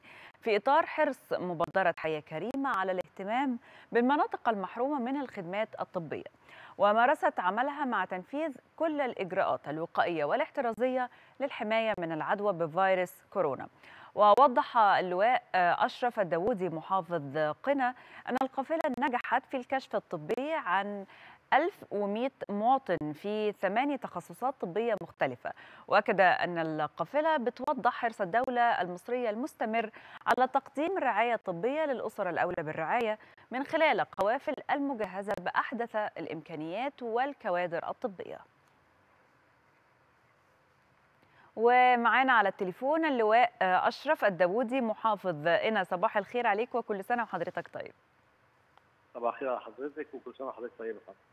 في البداية لو ممكن تكلمنا أكتر عن القوافل الطبية ومين المستهدف منها طبعا القوافل الطبية هي جزء من مبادرة حياة كريمة وطبعا المستهدف منها أبنائنا البسطاء اللي موجودين في القرى والريف المصري وطبعا في محافظة قنا في قرى ونجوع محافظة قنا وطبعا القافلة الحقيقة بيبقى فيها كل التخصصات. يعني آخر آخر قافلة حضرتك اتكلمت عليها كان فيها ثمان تخصصات تقريبا كل التخصصات الحيوية زي البطنة زي العظام زي طب الأطفال الجلدية والتناسلية. تقريبا كل التخصصات اللي بيحتاجها المواطن في أماكن تواجده. الخدمة بتأدى له في مكانه بجودة عالية جدا. ولو الحالات اللي محتاجة عمليات بتتحول للمستشفيات المتخصصة لإجراء العمليات. وده جزء من المنظومة الكبرى اللي هي حياه كريمة. ولو سمحتي لي أتكلم عنها شوية اتفضل. اتفضل. اتفضل حضرتك اتكلم عنها طبعا المشروع القومي لتطوير القرى الريف المصري ده دي مرحلة ثانية من مبادرة فخامه الرئيس لحياة كريمة. والمبادرة ديت أضخم مبادرة إنسانية في تاريخ الدولة المصرية تسعى بشكل مباشر لتحسين أوضاع القرى الاكثر فقرا في مصر. أوه. وتطوير وتقليل الفجوة بين المدن المتطورة بحيث إن يبقى عندنا ابننا أو أولادنا في القرى المصري بيعيشوا حياة كريمة يعني يعني تساوي أبناء الحضر اللي موجودين في ربوع مصر. والمبادرة يعني طبعا تكلفتها كانت في البداية حوالي 500 مليار على مستوى الجمهورية وازدادت دلوقتي ل 700 مليار ومتوقع إنها تزيد عن كده بالنسبة لمحافظه قنا يعني كان لينا الحمد لله نصيب كبير من المبادرة إحنا عندنا تسع مراكز في محافظه قنا في المرحلة الأولى من تطوير الريف المصري داخلين بخمس مراكز. آآ آآ تقريبا حوالي واحد ونص مليون مواطن في محافظه قنا هيستفيد من المرحلة الأولى فقط. الدولة متكلفة في المرحلة الأولى ما يقرب من حوالي 15 مليار. المبادرة زي ما حضرتك شفتي من ضمنها القافلة الطبية المبادرة نفسها بتأسس لحياة كريمه للمواطن بمعنى إنه يبقى عنده بنية تحتية كاملة من مياه شرب من صرف صحي من كهرباء. من غاز من طرق برضه منزل المواطن هيبقى منزل كريم يتناسب مع قيمة المواطن المصري في الدولة المصرية. بالإضافة كمان التمكين الاقتصادي وده أهم عنصر من العناصر اللي هو بنسميه التنمية المستدامة إن إحنا نوفر لأبنائنا في القرى والنجوع مهنة يمتهنها طبقا لخبرته في هذا المجال الدولة هتدعم هذا الخبرة وتكبره. بحيث تصبح صناعة داخل هذه القرى. طب حضرتك كانت كمان الأمم المتحدة أشادت بالمشروعات اللي حصلت في قنا لو تكلمنا أكتر عن هذه الإشادات وعن المشروعات. طبعا إحنا فخورين في مصر إن إن الأمم المتحدة اختارت برنامج تنمية صعيد مصر كافضل برنامج للتنمية المستدامة ومكافحه الفقر وطبعا البرنامج ده مبادرة رئاسيه أخرى من فخامه الرئيس والبرنامج ده اتعمل لأبناء الصعيد البداية بدات في قنا وسوهاج علشان قنا وسوهاج كان ترتيبهم في التنمية المحلية 26 و 27 يعني الأخير واللي قبل الاخير. المبادرة دي الحقيقة البرنامج ده بيشرف عليه إشراف مباشر وزارة التنمية المحلية بالإضافة طبعا لوزارة التخطيط والمالية والتجارة والصناعة والتعاون الدولي. ال ال ال ال البرنامج الحقيقة طبعا آه، آه، إحنا في محافظة قنا ومحافظة سوهاج الحقيقة بنأدي عمل الحمد لله ممتاز وده كان نتيجته إن إن البنك الدولي أتاح لينا آه، آه، آه، مبالغ أكثر من المخطط ليها نتيجة ارتقاء مستوى تنفيذ المشاريع في محافظة قنا، إحنا. نفذنا في محافظة قنا من خلال هذا البرنامج ما يقرب من 1400 مشروع في أقل من سنتين ونص بنسبة تنفيذ 100%. مم. آه، تجاوز ل 3.5 مليار جنيه لمحافظة قنا استفاد منه من ابناء قنا حوالي 2.5 مليون مواطن. مم.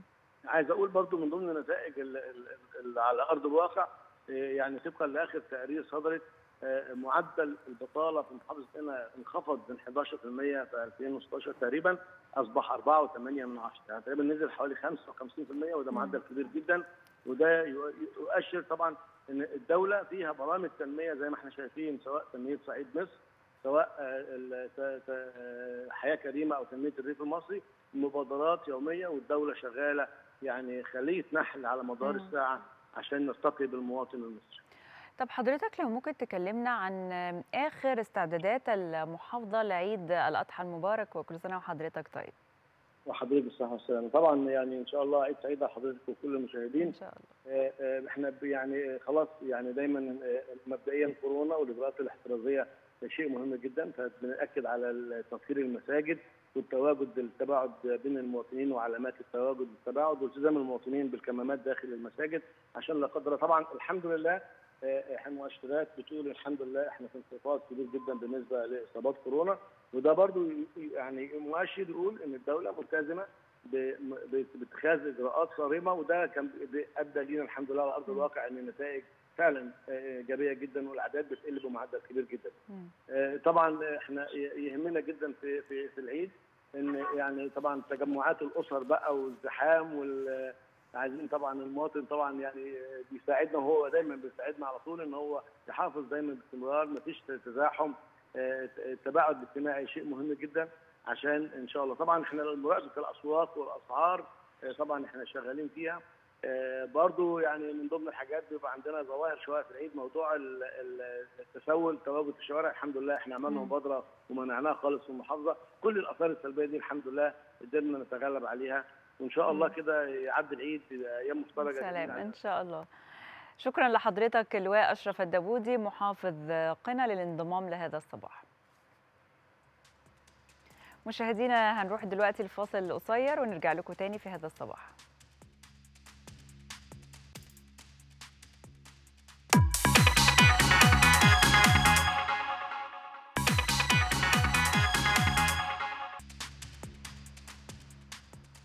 مشاهدينا أهلا بكم مرة تانية في هذا الصباح. أكيد أي مصري شايف التغيير الكبير اللي حصل في كل محافظات مصر مع عمليات التطوير والتنمية والارتقاء بالبنية التحتية. ولكن مشكلة النظافة كانت أزمة كبيرة خصوصا في محافظة زي محافظة القاهرة اللي تعدادها السكاني كبير جدا مقارنة بباقي المحافظات. في الفترة الأخيرة تابعنا الجهود اللي بتتم في منظومة النظافة واللي بدأت بالفعل وهيبقى في منظومة مطورة شفنا بوادرها في القاهرة مع إطلاق الهيئة العامة لنظافة وتجميل القاهرة لحملات نظافة كبيرة باستخدام مكانس شفط حديثة لعمال النظافة بدل من الأدوات التقليدية. ودي المعدات اللي ضاعفت عمليات النظافة وقللت الجهد. ده اللي هنتكلم فيه بشكل أكبر مع ضيفنا في هذا الصباح اللواء إيهاب شرشابي رئيس الهيئة العامة لنظافة وتجميل القاهرة. صباح الخير. صباح النور يا فندم. لو ممكن في الأول تكلمنا عن عايزين نعرف حاجات أكتر عن المعدات والأدوات الجديدة اللي تم الاستعانة بيها لتحقيق نتائج أفضل في منظومة النظافة في العاصمة طبعا آه، برحب بحضرتك أستاذة نوى وبرحب. بالسادة المشاهدين آه، آه، طبعا حجم المشروعات اللي بتنفذ في محافظة القاهرة فتح المحاور الشوارع الكباري كان لازم الهيئة تطور نفسها وتطور الوضع ال- الحالي والوضع المستقبلي إن شاء الله. فإحنا دلوقتي عندنا 28 مكنسة منهم آه، 20 آه، مكنسة آه، بتشتغل بعربيات لواري كبيرة إن أنا بشيل ال- الرمل اللي بيكون في جوانب الطريق والطرق وفي المحاور برضو استحدثنا آه، حاجة كده أو مكنة صغيرة آه، هنستعملها مكان المقشه دي هتكون إن شاء الله في الشوارع الرئيسية وفي المحاور وعملنا تجربة بيها آه، في ميدان العباسية. وإن شاء الله هتعمم على المحاور والطرق اللي موجودة في القاهرة في الوقت الحالي. آه. طيب حضرتك تطوير وسائل النظافة واستخدام المعدات الحديثة ده هيقتصر بس على القاهرة ولا هيمتد لباقي محافظات الجمهورية مع المنظومة الشاملة للنظافة اللي تم الإعلان عنها قبل كده؟ إيه، الهيئه يا فندم مسؤوله عن محافظة القاهرة ولكن إحنا بنعمل نموذج إيه، في شوارع وفي ميادين وفي محاور القاهرة. إيه، القاهرة زي ما حضرتك عارفة يعني أربع مناطق الجنوبية الشرقية الشمالية الغربية. في الوقت ده القاهرة إن شاء الله بإذن الله تقدم نموذج نتمنى إن باقي المحافظات تحذو حذوه بإذن الله. آه طيب آه، سيادة اللواء إحنا محتاجين نعرف من حضرتك إيه أهم جهود الهيئة بالتنسيق مع الأحياء لمنع تراكمات القمامة؟ إيه، في الأول أعرف حضرتك ال- الهيئة العامة لنظافة وتجميل وإنارة القاهرة هي خمس مركزيات. إيه، في المركزية للنظافة وهي دي اللي مسؤولة عن الجمع السكني وعن نظافة الشوارع والمحاور. في عندنا المركزية للتجميل ودي المسؤولة عن ال- الحدائق اللي موجودة في القاهرة بالكامل. في المركزية للإنارة ومسؤولة عن الأعمدة اللي موجودة في المحاور الرئيسية في الشوارع. 22 ألف عمود آه، بسم الله ما شاء الله في الفترة الحالية. في المركزية للشؤون الفنية ودي اللي تمتلك أسطول من العربيات والمعدات آه، حوالي 960 عربية مختلفة الحمولات و150 معدة باللوادر وحفارات وخلافه. آه، وفي المركزية المالية والإدارية وهي المنوط بها الصرف على الهيئة وعلى أنشطة الهيئة آه، من الموازنة العامة للدولة. عندنا ورش إنتاجية آه، على أعلى مستوى. عندنا في الوقت الحالي إحنا فتحنا الورش بتاعتنا بنصلح عربياتنا ومعداتنا. آه، تصليح العربيات والمعدات وظهورها بكفاءة فنية بتساعد بشكل مباشر في رفع التراكمات اللي موجودة في في الش... لو تكون موجودة في الشوارع أو في الحواري أو في الأزقة في الأماكن الشعبية اللي الناس بتعاني منها. لو اتكلمنا دلوقتي عن المركزية للنظافة وهي اللي مسؤولة عن الجمع السكني ومسؤولة عن نظافة الشوارع آه، إحنا القاهرة آه، إخراجها اليومي حوالي 18000 طن في اليوم. إحنا بنعمل على رفعها عن طريق متعهدي جمع سكني وعن طريق آه، الهيئة نفسها بمعداتها وأسطولها. المشكلة اللي إحنا بنشوفها في الشارع طبعا بتكون نتيجة إن الجمع السكني ما بيتمش 100% ال- المشكلة دي هتنتهي بإذن الله عن القريب العاجل. آه، لما نقدر إن إحنا ناخد كيس الزبالة آه، الكيس بتاعنا اللي السكان بيتخلصوا منه من قدام باب الشقة. في الوقت ده هيتمنع أكيد التراكمات اللي موجودة في الشوارع هتت هتتمنع. الظاهرة بتاعة الفريزة هتختفي. المناظر اللي إحنا بنشوفها هتختفي. آه. علشان كده في المنظومة الجديدة في شركتين داخلين على منطقتين. شركتين قطاع خاص. آه، شركة انفايرو ماستر دي مضينا معاها العقد إنها تكون مسؤولة عن الجمع السكني ونظافة الشوارع في المنطقة الشرقية. وشركة ارتقاء هتكون مسؤولة عن الجمع السكني ونظافة الشوارع في المنطقة الغربية. والهيئة هتقوم بدورها إن شاء الله في المنطقة الجنوبية والشمالية فيما ما يخص النظافة. لو قدرنا إن إحنا نوصل وبأقصى سرعة في نعمل جمع السكني 100% كده الشوارع آه، هتنضف تماما بإذن الله. طيب حضرتك بعد ما الهيئة بتقوم بدورها وطبعا هو دور كبير ومجهود كبير جدا عليها المفروض إيه على المواطن اللي يقوم بيه عشان تفضل الشوارع نظيفة؟ يعني إدي للمواطنين نصايح عشان ما يعيدوش ال... اتفضل أنا مش هحمل المواطن ال- المسؤولية كاملة. آه، وارمي ال- ال- الموجود في الشوارع على سلوك المواطن. لا أنا من احتكاكي بالشعب المصري الش- الشعب المصري بيحب إن هو بيحب النظام. لو في قدامه منظومة آه، بيلتزم بيها. المشكلة عندنا حضرتك زي ما قلت لحضرتك إن كان نس- نسبة الجمع السكني حوالي 50 60% طب المواطن هيودي الحاجة فين؟ فمع المنظومة الجديدة ومع الشغل الجديد ومع إن إحنا نقدر إن إحنا نجمع ال- القمامه من قدام باب كل شقة على ما أعتقد آه، إن شاء الله بإذن الله إن المواطن هيستجيب معانا. في بعض السلوك ال- الفردي من بعض الأشخاص آه، ده إن شاء الله أتمنى إنهم آه، يدخلوا يدخلوا جوه الصف معانا لأن في الأول وفي الآخر الشارع ده بتاعنا كلنا بتاع الكبير وبتاع الصغير بتاع جميع الفئات اللي موجودة في المجتمع. آه. طب حضرتك هيتم تطبيق عقوبات لإلقاء القمامة في الشوارع بعد تنظيفها هيك عشان الحفاظ أكتر على نظافة العاصمة؟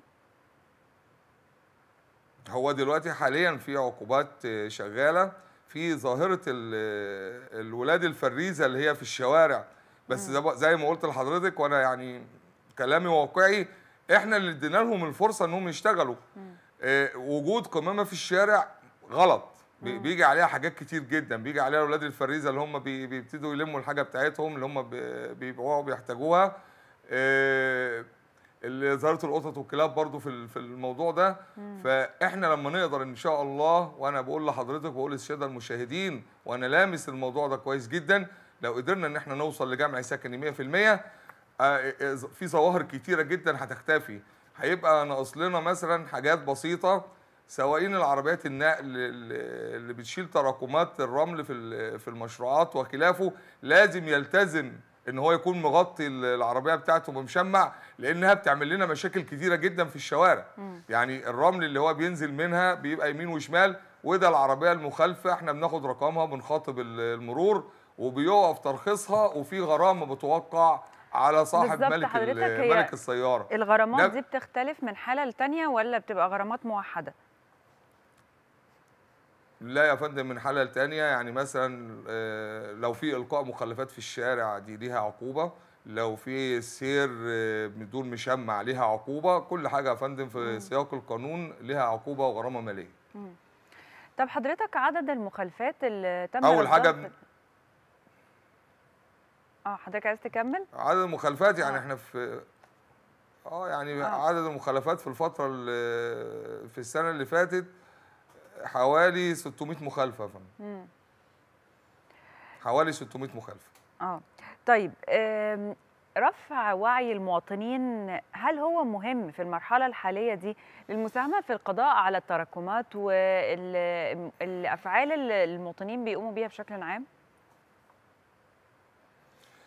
أنا زي ما قلت لحضرتك وبعيدها تاني المواطن لازم يبقى فيه قدامه منظومة محترمة مختلفة فبالتالي هو بينصهر في المنظومة.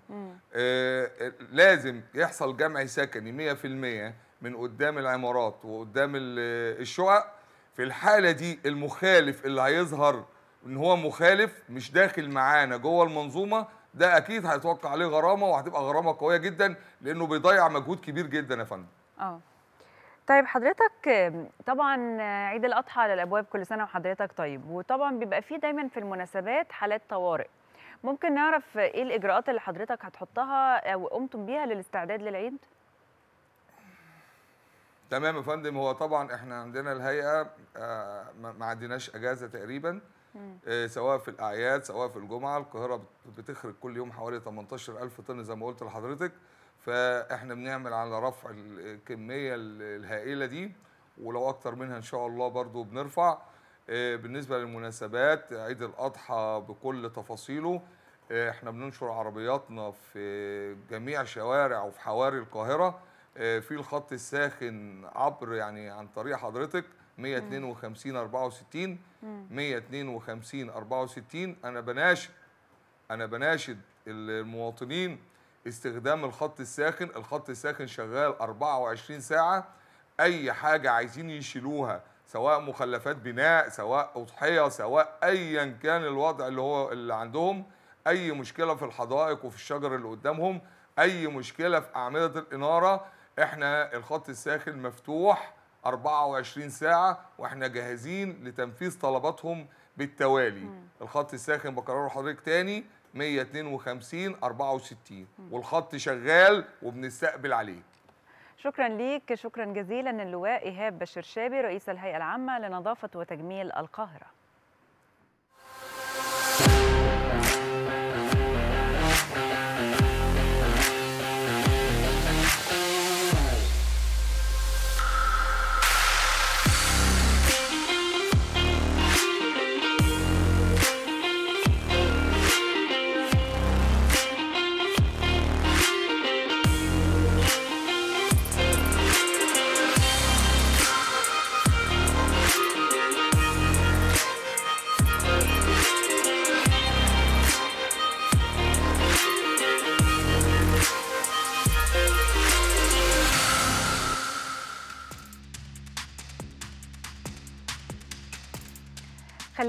نروح لشوية من أخبار الساحرة المستديرة.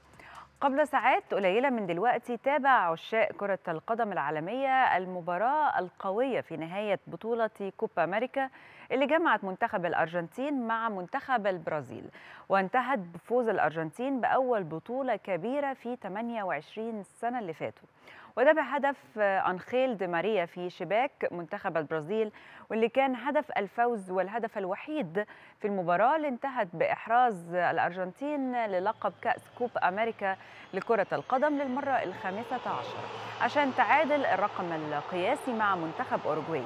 وبعد مباراة النهائي رفع نجم المنتخب الأرجنتيني ومهاجم برشلونة اللاعب ليونيل ميسي الكأس.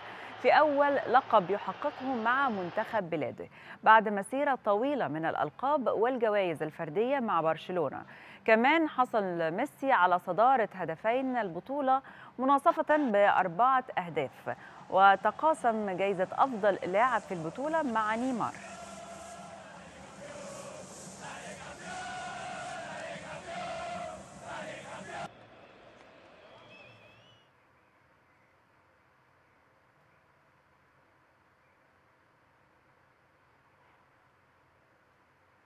النهارده كمان كل عشاق كرة القدم على ميعاد مع نهائي بطولة يورو 2020 والمباراة الأقوى في البطولة اللي هتجمع المنتخب الإنجليزي والمنتخب الإيطالي وهتقام الساعة التاسعة مساء على ملعب ويمبلي في العاصمة البريطانية لندن. وهيكون بحضور جماهيري كبير وصل لحوالي 66 ألف مشجع. وده المرة الأولى اللي بيتأهل فيها منتخب إنجلترا لنهائي أمم أوروبا بعد الفوز الصعب على منتخب الدنمارك بهدفين مقابل هدف. في المباراة اللي جمعت المنتخبين في الدور النص نهائي من يورو 2020 معانا على التليفون لمعلومات أكتر عمرو كمال الناقد الرياضي. صباح الخير عليك أستاذ عمرو. أسعد الله صباح حضرتك ومشاهدينك الكرام في كل مكان. شكرا لحضرتك. في البداية لو ممكن تقول لنا تقييمك لنهائي كوبا أمريكا بين الأرجنتين والبرازيل اللي انتهى فجر اليوم بتتويج الأرجنتين بالبطولة. شوفي هو بالتأكيد كان نهائي غاية في القوة والإثارة بين المنتخب السامبا البرازيلية والتانجو الأرجنتينية و كانت الأمور بتنصب أكتر في صالح المنتخب البرازيلي على اعتبار إن هو بيلعب على أرضه وعلى اعتبار إن هو صاحب مرات التتويج الاكثر وعلى اعتبار إن يعني بيلقب بالمنتخب الأرجنتيني في الفترة الأخيرة بالمنتخب المنحوس بسبب عدم فوزه ببطولات عالمية أو قارية فترات كبيرة. عشان كده المنتخب الأرجنتيني بقيادة ميسي دخل المباراة ويعني هو حاطط في اعتباره انها حياة أو موت وعلى اعتبار إن هي تاريخ لاعبي المنتخب الأرجنتيني بيكتبوا لنفسهم خاصة إن هم غايبين حتى عن الصعود للنهائيات منذ فترة كبيرة جدا. بالظبط ومنتخب البرازيل بقاله فترة أداؤه مش مش زي ما تعودنا عليه. إيه يرجع لإيه؟ أو أنت شايف إيه السبب في ده؟ هو بيرجع للتغييرات الكتير في الأجهزة الفنية إلى جانب يعني استحواذ اللاعبين أكتر وتركيزهم مع أنديتهم المحترفين فيها في أوروبا عن على حساب المنتخب الوطني. على اعتبار أيضا إن المكاسب المالية اللي بيحققوها في أنديتهم والخوف من الإصابات ده بيأثر بشكل كبير. على اعتبار كمان يعني قلة المواهب بالنسبة إنك في البرازيل كنت في وقت من الأوقات بتجدي إن ممكن يكون عندهم ثلاث منتخبات يقدروا يلعبوا بعدد كبير ووفرة في المهارات لدرجة إن بعض اللاعبين مش لاقيين مكان يلعبوا فيه في مراكز الهجوم فكانوا بيلعبوا في الدفاع. فكان حتى عند المنتخب البرازيلي مهارات عالية جدا في المدافعين. أظن إن الأمر كان في تشبع كتير بالبطولات بالنسبة للمنتخب البرازيلي. إلى جانب أيضا خوفهم على إصاباتهم وإن هم يبتعدوا عن أنديتهم. وإن المنتخب الأرجنتيني كان عايز يحقق حاجة خاصة إن هو غايب عن البطولات زي ما حضرتك اشرتي منذ سنوات كبيرة للغاية.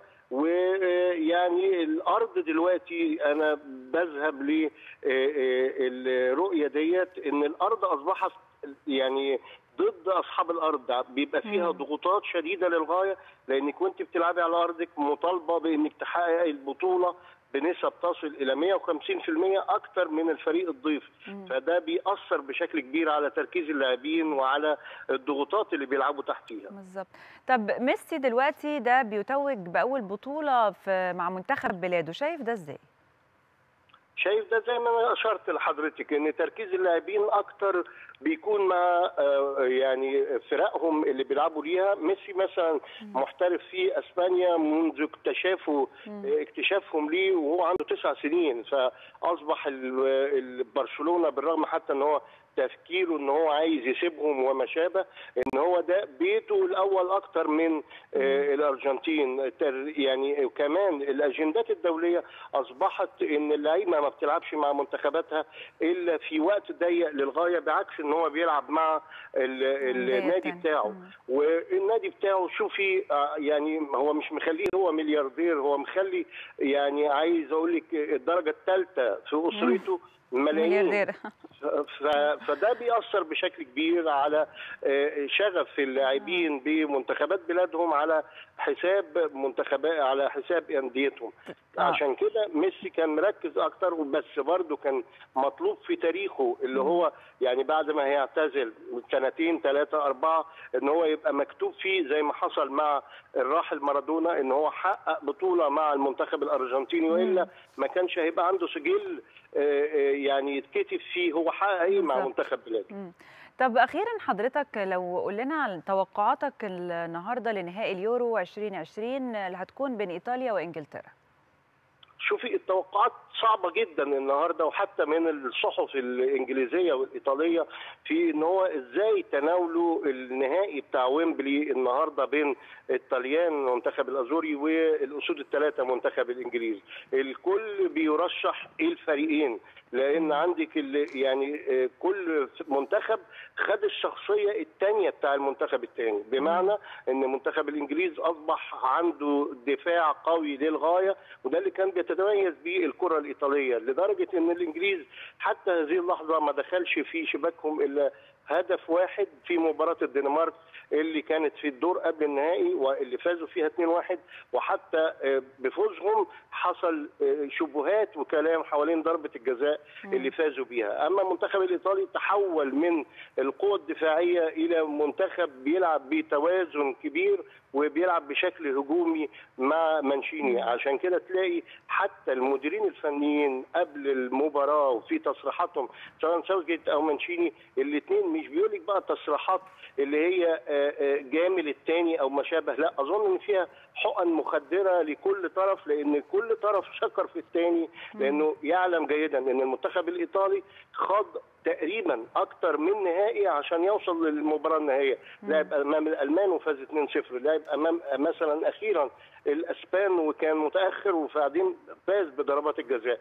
مشوار الطليان أصعب في الوصول للنهائي مشوار الإنجليز على ملعب ويمبلي زي ما حضرتك اشرتي والحضور الجماهيري وضربهم عرض الحائط سواء جائحة الكورونا أو المستجدات منها زي الدلتا. وبالرغم من ارتفاع دلوقتي يعني من ضمن آه، يعني سلبيات البطولة اللي أقيمت في 11 مدينة أوروبية آه، عشان كانوا يهربوا من الكورونا زودوا درجة الإصابات بالكورونا. أظن إن هتبقى فيها ضغوطات على المنتخب الإنجليزي ولكن فرص طب حضرتك يا. دكتور عمرو البطولة دي يعني كانت مليئة بالمفاجآت. يورو 2020 كانت مليئة بالمفاجآت. إيه أكتر فعلا. حاجة أنت شفتها غريبة حصلت؟ انهيارات المنتخبات الكبرى زي الألمان والفرنسيين والأسبان والبرتغال.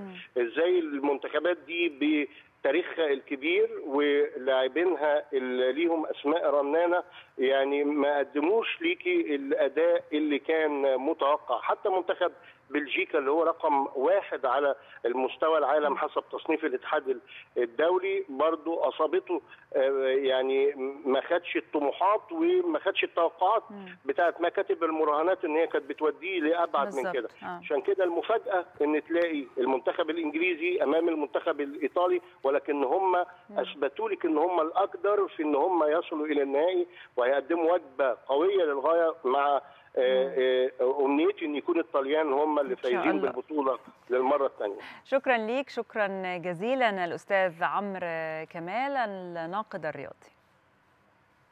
أهلا بكم مشاهدينا مرة تانية النهارده بنحيي ذكرى واحد من علماء مصر الكبار اللي ساهموا بجهود كبير في تجديد الفكر المصري وهو الإمام المجدد محمد عبده اللي بنحيي النهارده ذكرى رحيله ال 116 واللي كان ليه دور تنويري كبير في نهايات القرن 19 وبدايات القرن العشرين.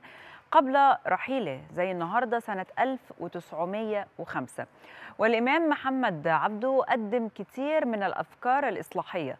بالإضافة لدوره في مواجهة الاحتلال الإنجليزي ودعوته للتحرر من كل أشكال الاستعمار الأجنبي. ده غير دوره في الارتقاء بالمؤسسات الإسلامية والتعليمية بانفتاحه على علوم جديدة ما كانتش بتدرس. وسعيه للإصلاح والتطوير في الأزهر والأوقاف والمحاكم الشرعية وده اللي عرضه للسجن والنفي في سبيل وطنه. ولكنه استمر في دعوته ودوره التنويري لأنه كان بيشوف أن الإصلاح بيجي من خلال نشر التعليم بين أفراد الشعب والتدرج في الحكم النيابي. وكان الإمام من المناصرين للثورة العربية عشان كده تم القبض عليه ونفيه لمدة ثلاث سنوات. ولكن المنفي استمر أو المنفى استمر ست سنين قبل ما يرجع لمصر. ويتم تعيينه قاضي أهلي في محكمة بنها ومنها لمحكمة الزقازيق وعابدين وبعدها بقى مستشار في محكمة الاستئناف. ده غير أنه اتولى منصب مفتي الديار المصرية في 3 يونيو عام 1899 كان أول مفتي مستقل للديار المصرية وفضل في المنصب ده لحد وفاته عام 1905 تعالوا نشوف معلومات عن الإمام محمد عبده في العرض التالي.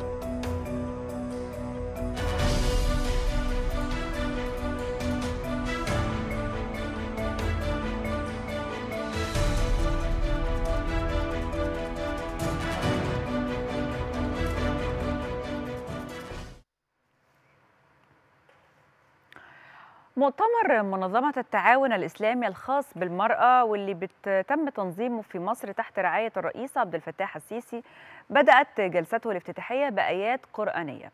قامت بتلاوتها الزهراء لايق وهي بنت محافظة كفر الشيخ.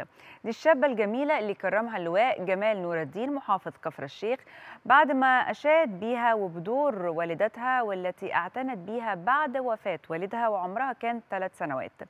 كمان الزهراء قالت إنها فخورة بدرع المحافظة وبتكريمها بشهادة التقدير ووصفت قراءتها للقرآن أمام الرئيس في مؤتمر إسلامي كبير بأنه خلاها تحس إنها بطلة من الأبطال. تعالوا نشوف. آه سعيدة جدا آه وفخورة جدا بتكريم المحافظ ليا النهاردة. أشكر آه أشكر اللواء جمال نور الدين جدا على تكريمه ليا ودعمه وشرف ليا جدا إن أنا موجودة معاه النهاردة. وإن شاء الله ربنا يحفظه ويبارك في عمره يا رب إن شاء الله. اللواء سلم عليا و... ويعني قال إن هو فخور بيا الحمد لله.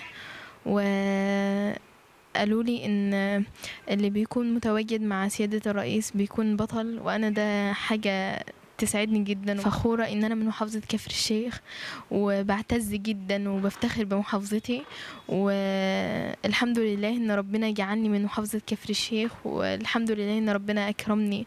وكنت متواجدة مع سيادة الرئيس كأول بنت عربية تقرأ تتلو القرآن في احتفالية رسمية أمام سيادة سيادة الرئيس عبد الفتاح السيسي.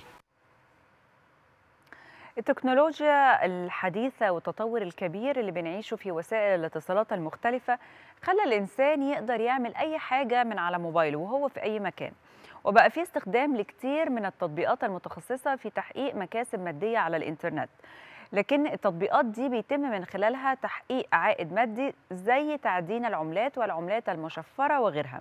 ممكن تكون وسيلة لسرقة البيانات الشخصية خصوصا مع اكتشفنا إن كتير من الشركات اللي بتعمل التطبيقات دي بتسعى لجمع البيانات بشكل كبير واللي كتير بيتم بيعها لاستهداف المستخدمين بالإعلانات وتسويق للمنتجات المختلفة.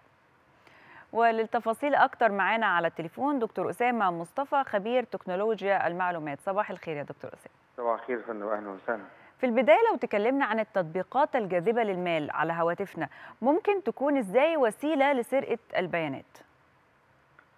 هو زي ما حضرتك تفضلت كده في المقدمة التطبيقات معظمها اللي إحنا بنستخدمها المجانية ديت هي بالفعل مش مجانية يعني. مقصود بيها آه، حاجة متعارف عليها بره اسمها ال big data analytics اللي هي تحليل البيانات العظمى. آه، بتعتمد على حجم ضخم جدا من البيانات اللي المستخدمين بيستخدموها. تتحلل في server ات كبيرة لأغراض بقى تجارية سياسية اجتماعية زي ما حضرتك قلتي أمثلة إنه أنا بستعمل تطبيق مجاني لكن هو في الغالب بي بي بي بي بي بيبحث في سلوكياتي علشان يبعت لي إعلانات. ده. أبسط صورة من صور استخدامات التطبيقات لبيانات الأشخاص يعني. آه، لكن في ناس تانية تطبيقات مجهولة تماما دي بتسرق البيانات بتاعة المستخدم فعليا. يعني بيعتمد على ال hacking. آه، زي تطبيقات بنشوفها مثلا كده على الفيسبوك. آه، آه، بيقول بتعمل زي مسابقة أو لعبة صغيرة؟ فاللعبة دي أنا بشارك فيها معلوماتي بتاعة الفيسبوك فأنا كده اديت له السماح آه، إن هو يدخل المعرض الصور بتاعي ومستنداتي وممكن يسحب منها ال data بقى السرية يعني. طيب هي ال ال في مواجهة بين الشركات اللي بتقوم تصميم أنظمة التشغيل الموبايلات من النوع ده من التطبيقات؟ الشركات المصممة زي الشركات الكبيرة الصينية مثلا تعمل الموبايل آه، هي بالنسبة لها استخدامات الم... يعني انتشار ال- الموبايل هو أكسب ليها. آه، لكن هي بتعمل آه، يعني متاجر حضرتك هي اللي بتعمل المواجهة ديت في الأول زي مثلا متجر أبل. آه، لو حد نزل عليه لعبة أو آه، أي تطبيق التطبيق ده بيبقى ليه احترام للخصوصية. عشان كده يعني في شركة أبل بتبقى أصعب شوية في تطبيقاتها يعني. آه. فبي مثلا هما بيراجعوا التطبيق واحد واحد. فلما بيحصل يلاقي واحد مش مبلغ إن هو مثلا بيستخدم الكاميرا بتاعتك من غير ما يقول لك فبيوقفوا التطبيق بتاعه. آه. آه، طبعا في البرمجه فيها تحيلات كتيرة يعني على كده بس آه، بس آه، بيحاولوا يحطوا حدود لموضوع اختراق الخصوصية. مم.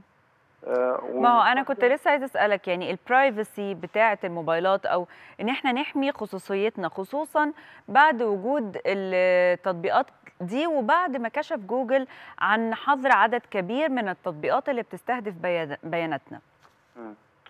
أيوه آه، استهداف البيانات ده حضرتك اولا أنت قلتي بس في المقدمه حاجة جميلة جدا عن موضوع التعدين استخدام الأجهزة في موضوع التعدين. دي يعني جملة عابرة بس في غاية الأهمية.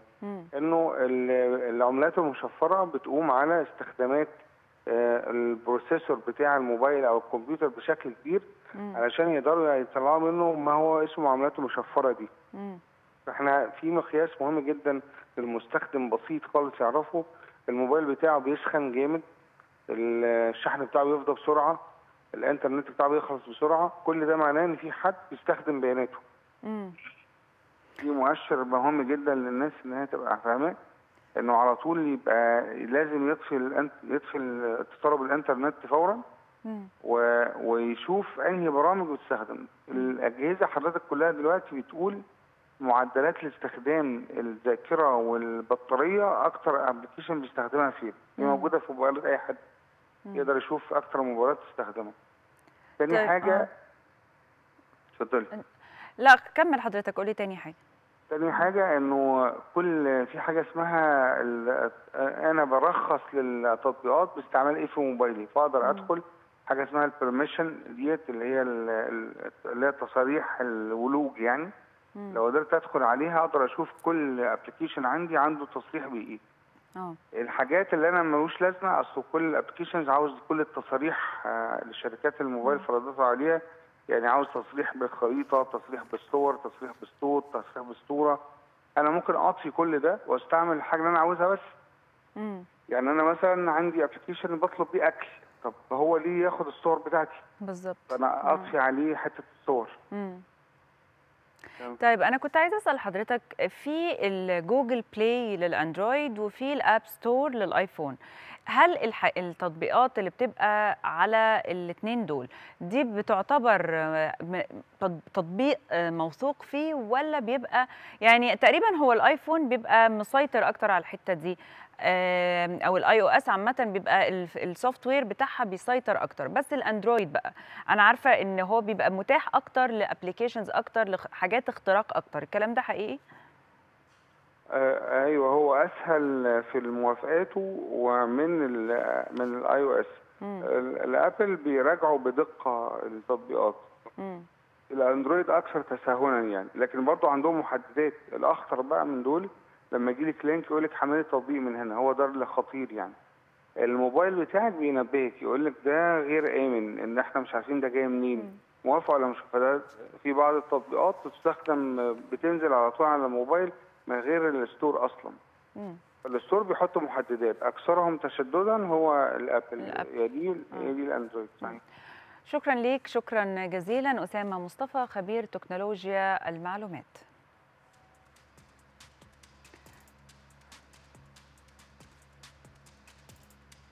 مشاهدينا نروح دلوقتي الفاصل قصير ونرجع لكم تاني في هذا الصباح.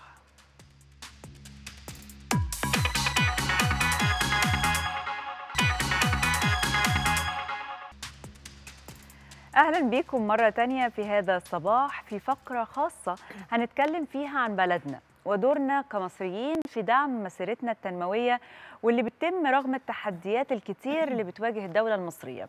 واللي هدفها تعطيل مسيرة الإصلاح والتنمية سواء كانت التحديات دي داخلية أو خارجية. وهنا بيبان معدن المصريين وإرادتهم لمساندة البلد وفي مرحلة مصيرية. اتغيرت فيها مصر واستعادت ثقلها الإقليمي والدولي. في مناقشتنا النهاردة بتشرفنا في الاستوديو الكاتبة الصحفية نشوى الحوفي. أهلا بيكي معانا في أهلاً هذا بيكي، الصباح. أهلا بيك يا نوع. يعني لو حضرتك في البداية ممكن تكلمينا عن حتمية الاصطفاف الوطني وإزاي في المرحلة الحالية اللي إحنا بنشهد فيها تحديات كتيرة جدا وبنشهد فيها تغيرات زي التنم... إن إحنا نشوف تنمية أكبر. إيه أهميتها؟ خلينا نتفق على حاجة. ربنا ما خلقش كل الناس شبه بعض. وما خلقش كل الآراء زي بعض. وما خلقش الليل زي النهار. بالعكس أنا دايما أقول ألوان الطيف سبعة. اكتمالهم يخلق اللون الأبيض. اختفاء واحد فيهم بس ما نشوفش اللون الأبيض صح؟ مش ده اللي. إحنا خدناه. آه. إذا الاختلاف سمة وحاجة حلوة بس إزاي يحصل؟ إن كل واحد فينا يكون مميز في مكانه ويكون قايم بدوره. يعني كل لون من الألوان السبعة في ألوان الطيف بيقوم بدوره علشان ننتج اللون الأبيض. الاختلاف حاجة حلوة بس إزاي نمارسها؟ نمارسها وإحنا فاهمين. يعني أسمع ربنا ادانا ودنين ولسان واحد. يعني نسمع أكتر ما نسمع نتكلم أكتر ما نتكلم بالظبط. يعني أتعرف على كل وجهات النظر. يعني آه، أقرأ. وإحنا أمة اقرأ التي لا تقرأ. صح ولا مش صح آه برضه معظمنا ما, بيك... ما بيقراش. للأسف. مم. بالذات مع وجود التكنولوجيا كمان. أكيد. هو ما بقاش بيقرأ. لو في النهاية وصلت الرأي وحسيت إن كلامي هيضيف أتكلم. لو ما لقيتش إن كلامي هيضيف ما اتكلمش لأن لو السكوت أو الكلام من فضة كانوا بيقولوا لنا زمان إن. السكوت من ذهب واليومين دول بقى من الماس خلاص؟ الحاجة الأهم كمان إن في وسائل التواصل الاجتماعي والتكنولوجيا الحديثة ولسه هيزيد كمان مع الثورة الصناعية الرابعة اللي دخلناها من أكتر من خمس ست سنين فاتت. شهوة نشر الأخبار وشهوة إن أنا أكون حاضر مم. وشهوة إن أنا ما أبقاش لوحدي أبقى في وسط مجموعة من الأصوات اللي بتعلي صوتها مم. فأنا في وسطيهم وأنا مش لوحدي أو الخوف إن أنا أقول رأي مخالف. بالظبط. فهخش مع الغوغائية أو الصوت العالي علشان ما أبقاش لوحدي. الحاجات ديت بتأثر في النهاية على فكرة هو أنا رايح فين؟ هو أنا بضيف ولا بقلل؟ هو أنا بضرب حجر في قلب لوح إزاز ممكن ينكسر ولا لأ؟ زي ما حضرتك قلتي فعلا لما بينزل خبر غلط على الفيسبوك أو على ال social media الناس بتعمل له share وبيخافوا حتى لو هم ضده يقولوا إن هم ضده. يعني. هم بيعملوا share لمجرد إن هم يعملوا ده share. صحيح. انا خلينا ناخد من امبارح علشان. امبارح ده كان أول امتحان للثانوية آه. العامة. وما حدث من بلبلة في امتحان. أنا فاكرة أنا أخدت ثانوية عامة سنة 87 آه. من قبل أنا ما آخد ثانوية عامة وأنا ست الحقيقة دلوقتي داخلة على 52 سنة وبعترف بيها. مش باين فبسمع كل يوم في الامتحانات وأنا مريت بده الامتحان صعب. آه، إحنا الولاد منهارين البنات منهارين. الحقيقة ده حاجة طبيعية. الامتحان مش جاي علشان الكل يجيب 100% بالظبط. والامتحان طول الوقت بيقيس قدرات الطالب. الأهم إن مصر دخلت مرحلة تطوير التعليم وده جزء الحقيقة من التنمية المستدامة مم. اللي مصر بتحققها.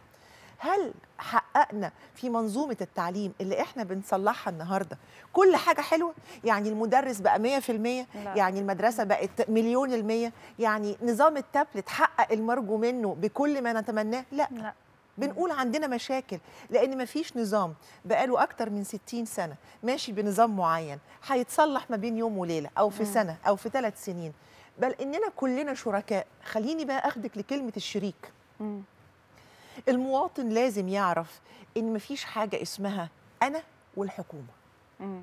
أنا والدولة المواطن لازم طول الوقت يشارك. يكرر لنفسه ويقول أنا الدولة مم. لأن علمونا وإحنا بندرس سياسة إن الدولة عبارة عن إيه دي مش كائن هلامي مم. ولا طائر الرخ اللي جاي من الخيال الدولة هي مؤسسات وشعب وأرض مم. فأنا ركن أساسي كمواطن. في تكوين الدولة. فمفيش بالظبط. حاجة اسمها أنا وهم. أصل هم بيعملوا فيا كده ليه؟ لا اسمها إحنا بنخطط لإيه؟ آه. أنت دورك إيه؟ أنت مسارك إيه؟ في كل الدول اللي نهضتها النهارده بقت هي نموذج بنكرره في كلامنا. إحنا ليه ما نكونش ألمانيا؟ إحنا ليه ما. نكونش اليابان؟ إحنا ليه ما نكونش الصين؟ المواطن كان حاضر بالامتثال لقرارات الدولة وإن هو يمشي معاها علشان ما يعطلهاش. وانه يبقى فاهم رؤية الدولة كمان هي رايحة لفين.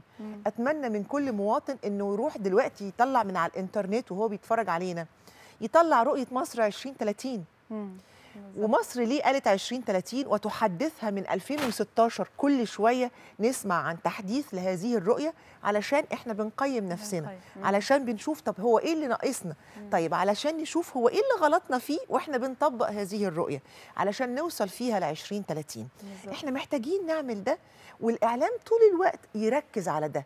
ده اللي بيحقق الاصطفاف وأكم من سنين طويلة عدينا فيها بأزمات 67 73 المواطن كان حاضر. آه. ساعات ناس تقول لي آه وفيها إيه يعني لما نقول نكتة؟ هفكركم بمشهد في فيلم الممر. مم. وهفكركم إحنا لما اتفرجنا عليه زعلنا قد إيه؟ مم. المشهد بتاع السنترال. آه. لما راح الفنان أحمد عز علشان يتصل بالكتيبة بتاعته لما رجع من 67 مم. فموظف السنترال سخر منه لما عرف إنه ظابط. مم. كلنا وإحنا بنتفرج في قاعات السينما تعاطفنا مع هذا الضابط وزعلنا من النكتة السخيفة اللي قالها آه، موظف السنترال مم. خليك أنا وأنت دلوقتي نفتكر نفس المرحلة إحنا في حرب استنزاف مم. وفي حرب استنزاف مش من النهارده لأ أنا بقول الجملة ديت من 2011 مم. إحنا في حرب استنزاف مم.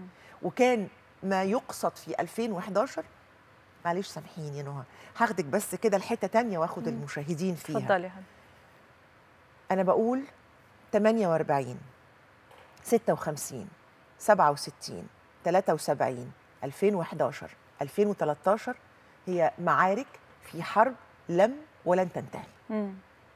فإحنا في حرب استنزاف من 2011 نكون أو لا, أو لا نكون. نكون. ما ينفعش وبلادي في حرب استنزاف أطلع نكتة. ما بعرفش أضحك عليها قلبي بيوجعني. وأنا شايفة التحديات اللي حواليها. مم. تحديات داخلية وتحديات خارجية. ورغم كده دولة قادرة إنها تهتم بكل تفاصيل بكل مواطنيها. التفاصيل. مم. يعني تخيلي في ظل كل الملفات المطروحة في مصر. سد النهضة التعليم الصحة كورونا الاقتصاد. مصر قاعدة بتركز مع مواطنين يبلغوا ألف أو اتنين في الإمارات اضطرتهم الظروف إن هم يعني يعلقوا في آه، الإمارات بعد قرار المملكة العربية السعودية إنها يعني توقف علشان كورونا دخول الطيران من بعض الدول. آه. فتبقى الدولة كمان مشغولة في ظل كل ده بال2000 مواطن وتبقى متواصلة معاهم. طب هي هتعمل إيه؟ طب هترجعهم؟ هذه الدولة لازم إن أنا أقول أنا في ظهرها طول الوقت مم. المواطن كمان وهو تقريبا. المواطنين ابتدوا يشوفوا ده وابتدوا يشوفوا إن هم لازم يبقوا في ظهر المو... ال- الدولة في كل أتمنى حاجة أتمنى وكمان أبقى أبقى مدرك مستني طول الوقت الخبر اللي يطلع من الدولة المصرية مم. وعلشان كده الدولة المصرية كمان طول الوقت هي كمان عليها مسؤولية المكان الفاضي الكوباية الفاضية لو أنا ما مليتهاش غيري هيجي هي يملاها.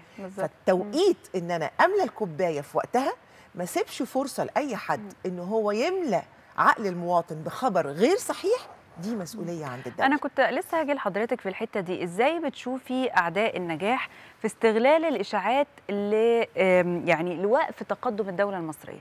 إزاي هم بي بي بيستغلوها باكتر حاجة يقدروا عليها عشان يوقفوا تقدم الدولة المصرية؟ خلينا نتفق على حاجة. الزمن اختلف. ومن السبعينيات طلع شعار لطيف كده ألخصه في جملة كتبتها مرة. ليه أسيح دمك لما ممكن أسيح عقلك وأسيبك تسيح دمك ودم اللي من دمك.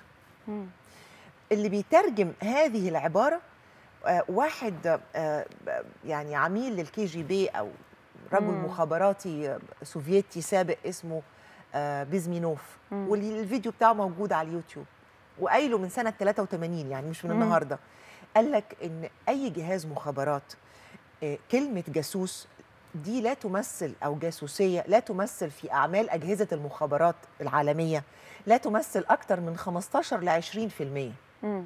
بينما إن أنا ألعب في ذهن وعقل أي مواطن في أي بلد مم.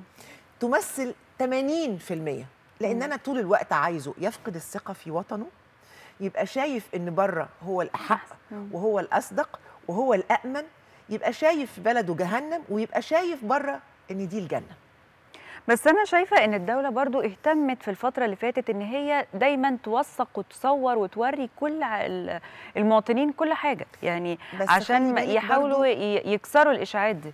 موافقاكي الحقيقة وبتبذل على فكرة جهد واضح بس محتاجين جهد أكبر. مم. لأن اللي بره عمره ما هيسيبك. مم. والمواطن للأسف لا يزال عايش بثقافة بيضحكوا عليا.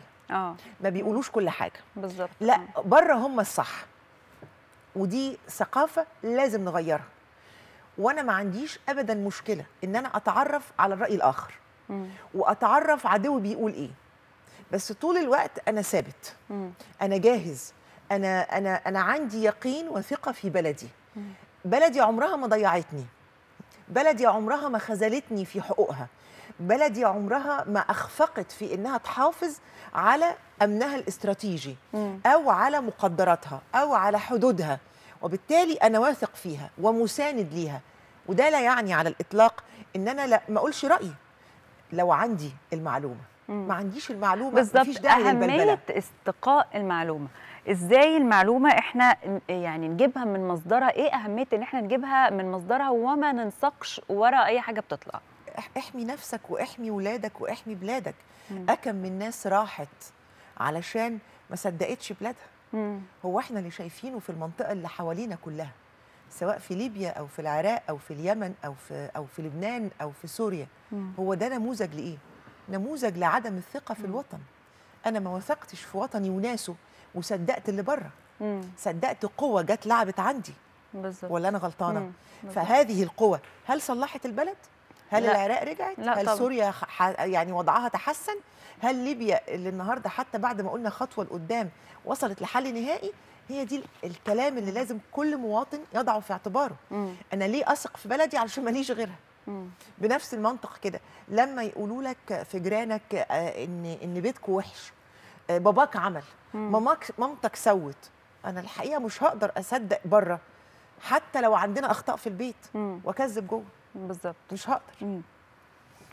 طب حضرتك يا أستاذة نشوى إيه رأيك في وضع الم- المرأة في عهد الرئيس عبد الفتاح السيسي خلينا نتفق إن المرأة المصرية طول الوقت مميزة مم. على مدار التاريخ لها جينات مختلفة.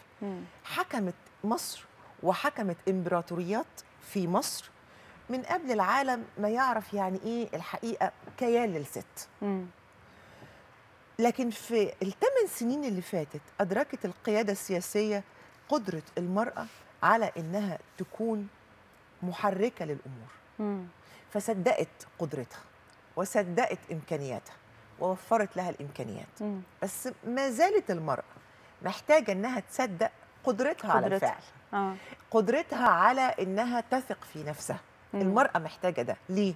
لأن لو القيادة السياسية منحت في مصر على مدار الثمان سنين اللي فاتوا منحت آه نوع من الإمكانيات نوع من الوسائل اللي تقدر بيها المرأة تثبت ذاتها مم. طيب ولو تغير الزمن لو جه حد قال لا المرأة مش موجودة مم. أنت هتروحي فين هترجعي تاني ورا لازم تثبت. استغلي الفترة دي لإثبات قدرتك الحقيقية لإثبات صوتك ولسماع. صوتك يعني آه، يمكن يوم الخميس اللي فات كان آخر آه، يعني ما منحته القيادة السياسية في مصر ليس للمرأة في مصر فقط ولكن للمرأة في العالم الإسلامي لما مم. افتتح آه، المؤتمر الوزاري الثامن لمنظمة التعاون الإسلامي وتم الإعلان عن إنشاء آه، المنظمة آه، تنمية المرأة. وجعل مقر لسه كنت هسأل حضرتك عليها دلوقتي. آه يعني إيه دلالات دلالات تخصيص آه، ال- ال- القيادة السياسية للمقر المنظمة لتنمية المرأة؟ يعني إحنا اخترنا إن العاصمة الإدارية يكون ليها فيها مقر لمنظمة تنمية المرأة. ده إحساس بإن خلي بال حضرتك إن منظمة التعاون الإسلامي فيها 57 دولة. مم. منظمة تم تأسيسها سنة 69 برضو بالحقيقة بإصرار مصري بإرادة مصرية علشان مصر كانت شايفة الكيان. ليس للتمييز ما بين مسيحي ومسلم. ولكن لإدراك مصر لوجود قوة ناعمة في دول ليست من الدول العربية. آه. إحنا عندنا يعني دول من آسيا من جنوب شرق آسيا عندنا دول في أفريقيا في في منظمة التعاون الإسلامي. مم. وجود المرأة وتأثيرها وقوتها الناعمة في هذه الدولة في هذه الدول ده دور من أدوار مصر اللي بتسعى إنها توصل ليها لإنها الحقيقة ترتقي بيها. وخصوصا في فكر منظمة التعاون الإسلامي وإحنا كلنا شايفين كم الاستغلال اللي تعرضت له المرأة بالتفسير الخاطئ لنصوص من الدين. وإحنا محتاجين الحقيقة إن إحنا نعيد تفسيره مرة تانية.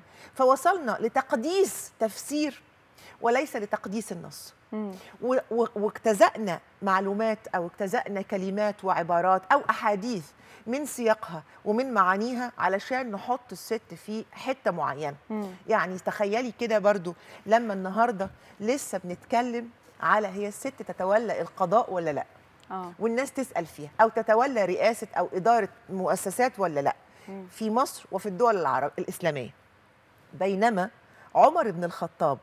وهو حاكم للمسلمين في المدينة يمنح امرأة اسمها الشفاء بنت عبد الله.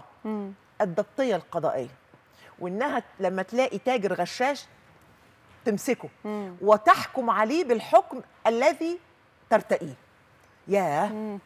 الشفاء بنت عبد الله كان عندها الضبطية القضائية لأي تاجر غشاش وعمر بن الخطاب يساندها وأنا لسه النهاردة لسه، عندي آه. ناس تقول لي هي المرأة تمسك القضاء مم. ولا لأ أنا لما النبي عليه الصلاة والسلام والسلام. يقول خذوا نصف دينكم عن هذه الحميراء وكان يعني به السيدة عائشة بنت عمر بن الخطاب مم.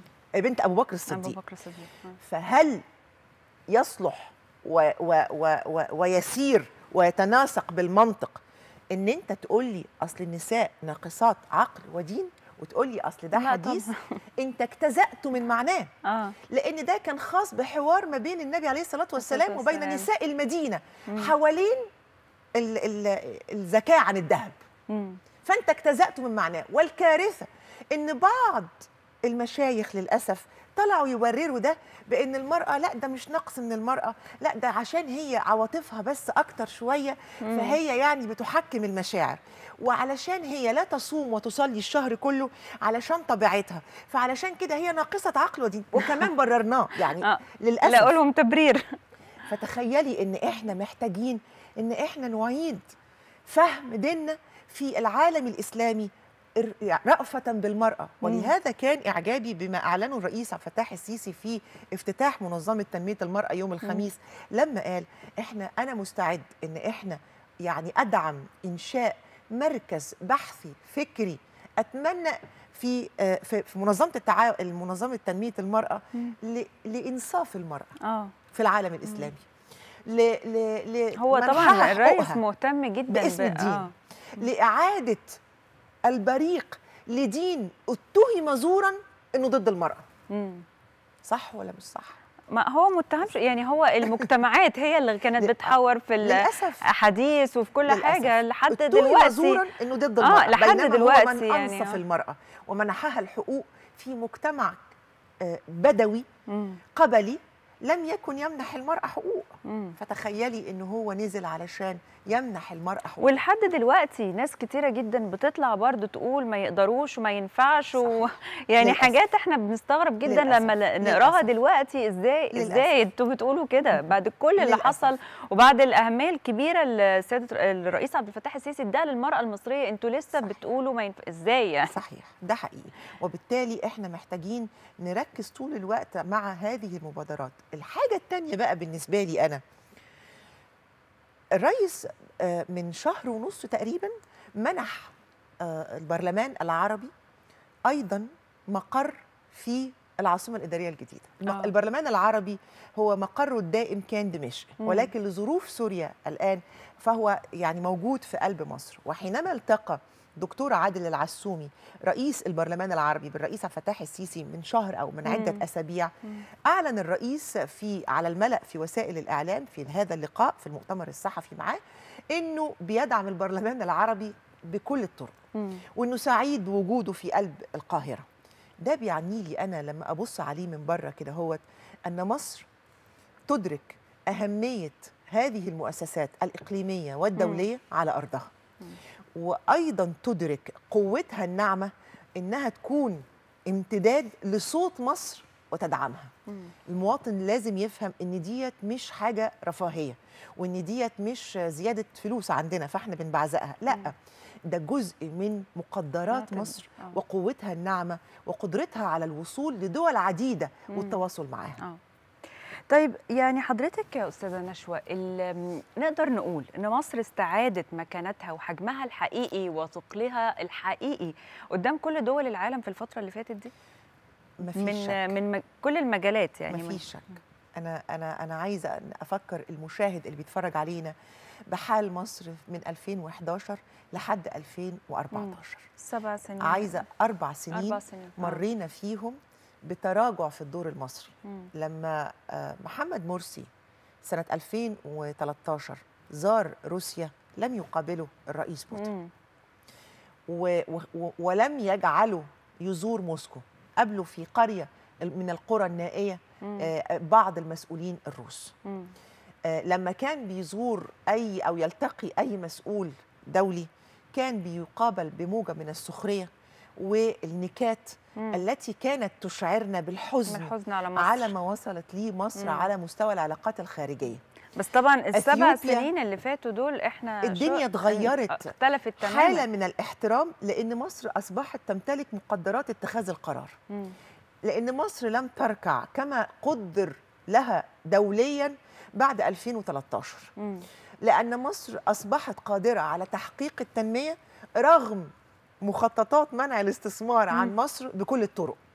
لأن مصر ما قالتش كلمة ورجعت فيها بمعنى حينما تم تهديدنا آه، بمنصات إعلامية تمول من قبل مخابرات دول في الخارج إحنا ما تراجعناش. لما آه، بالعكس كنا ثابتين قادرين على إعلان صوتنا على إعلان رأينا على اتخاذ القرار وتنفيذه مم. على حماية مقدراتنا. إحنا قلنا سيرة الجفرة خط أحمر الناس ضحكت شوية. آه. لكن سيرة الجفرة خط- أصبحت خط, خط أحمر. فعلا. صح مم. ولا مش صح؟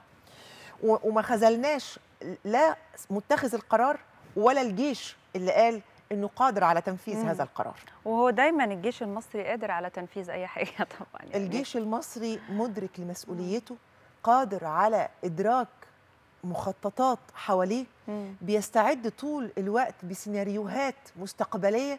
لو حصل إيه أي حاجة فجائية إيه؟ هنعرف نرد. إحنا ما بنستناش علشان نكون رد فعل لأننا أدركنا إننا لما بنكون رد فعل بيتأخر حماية البلد.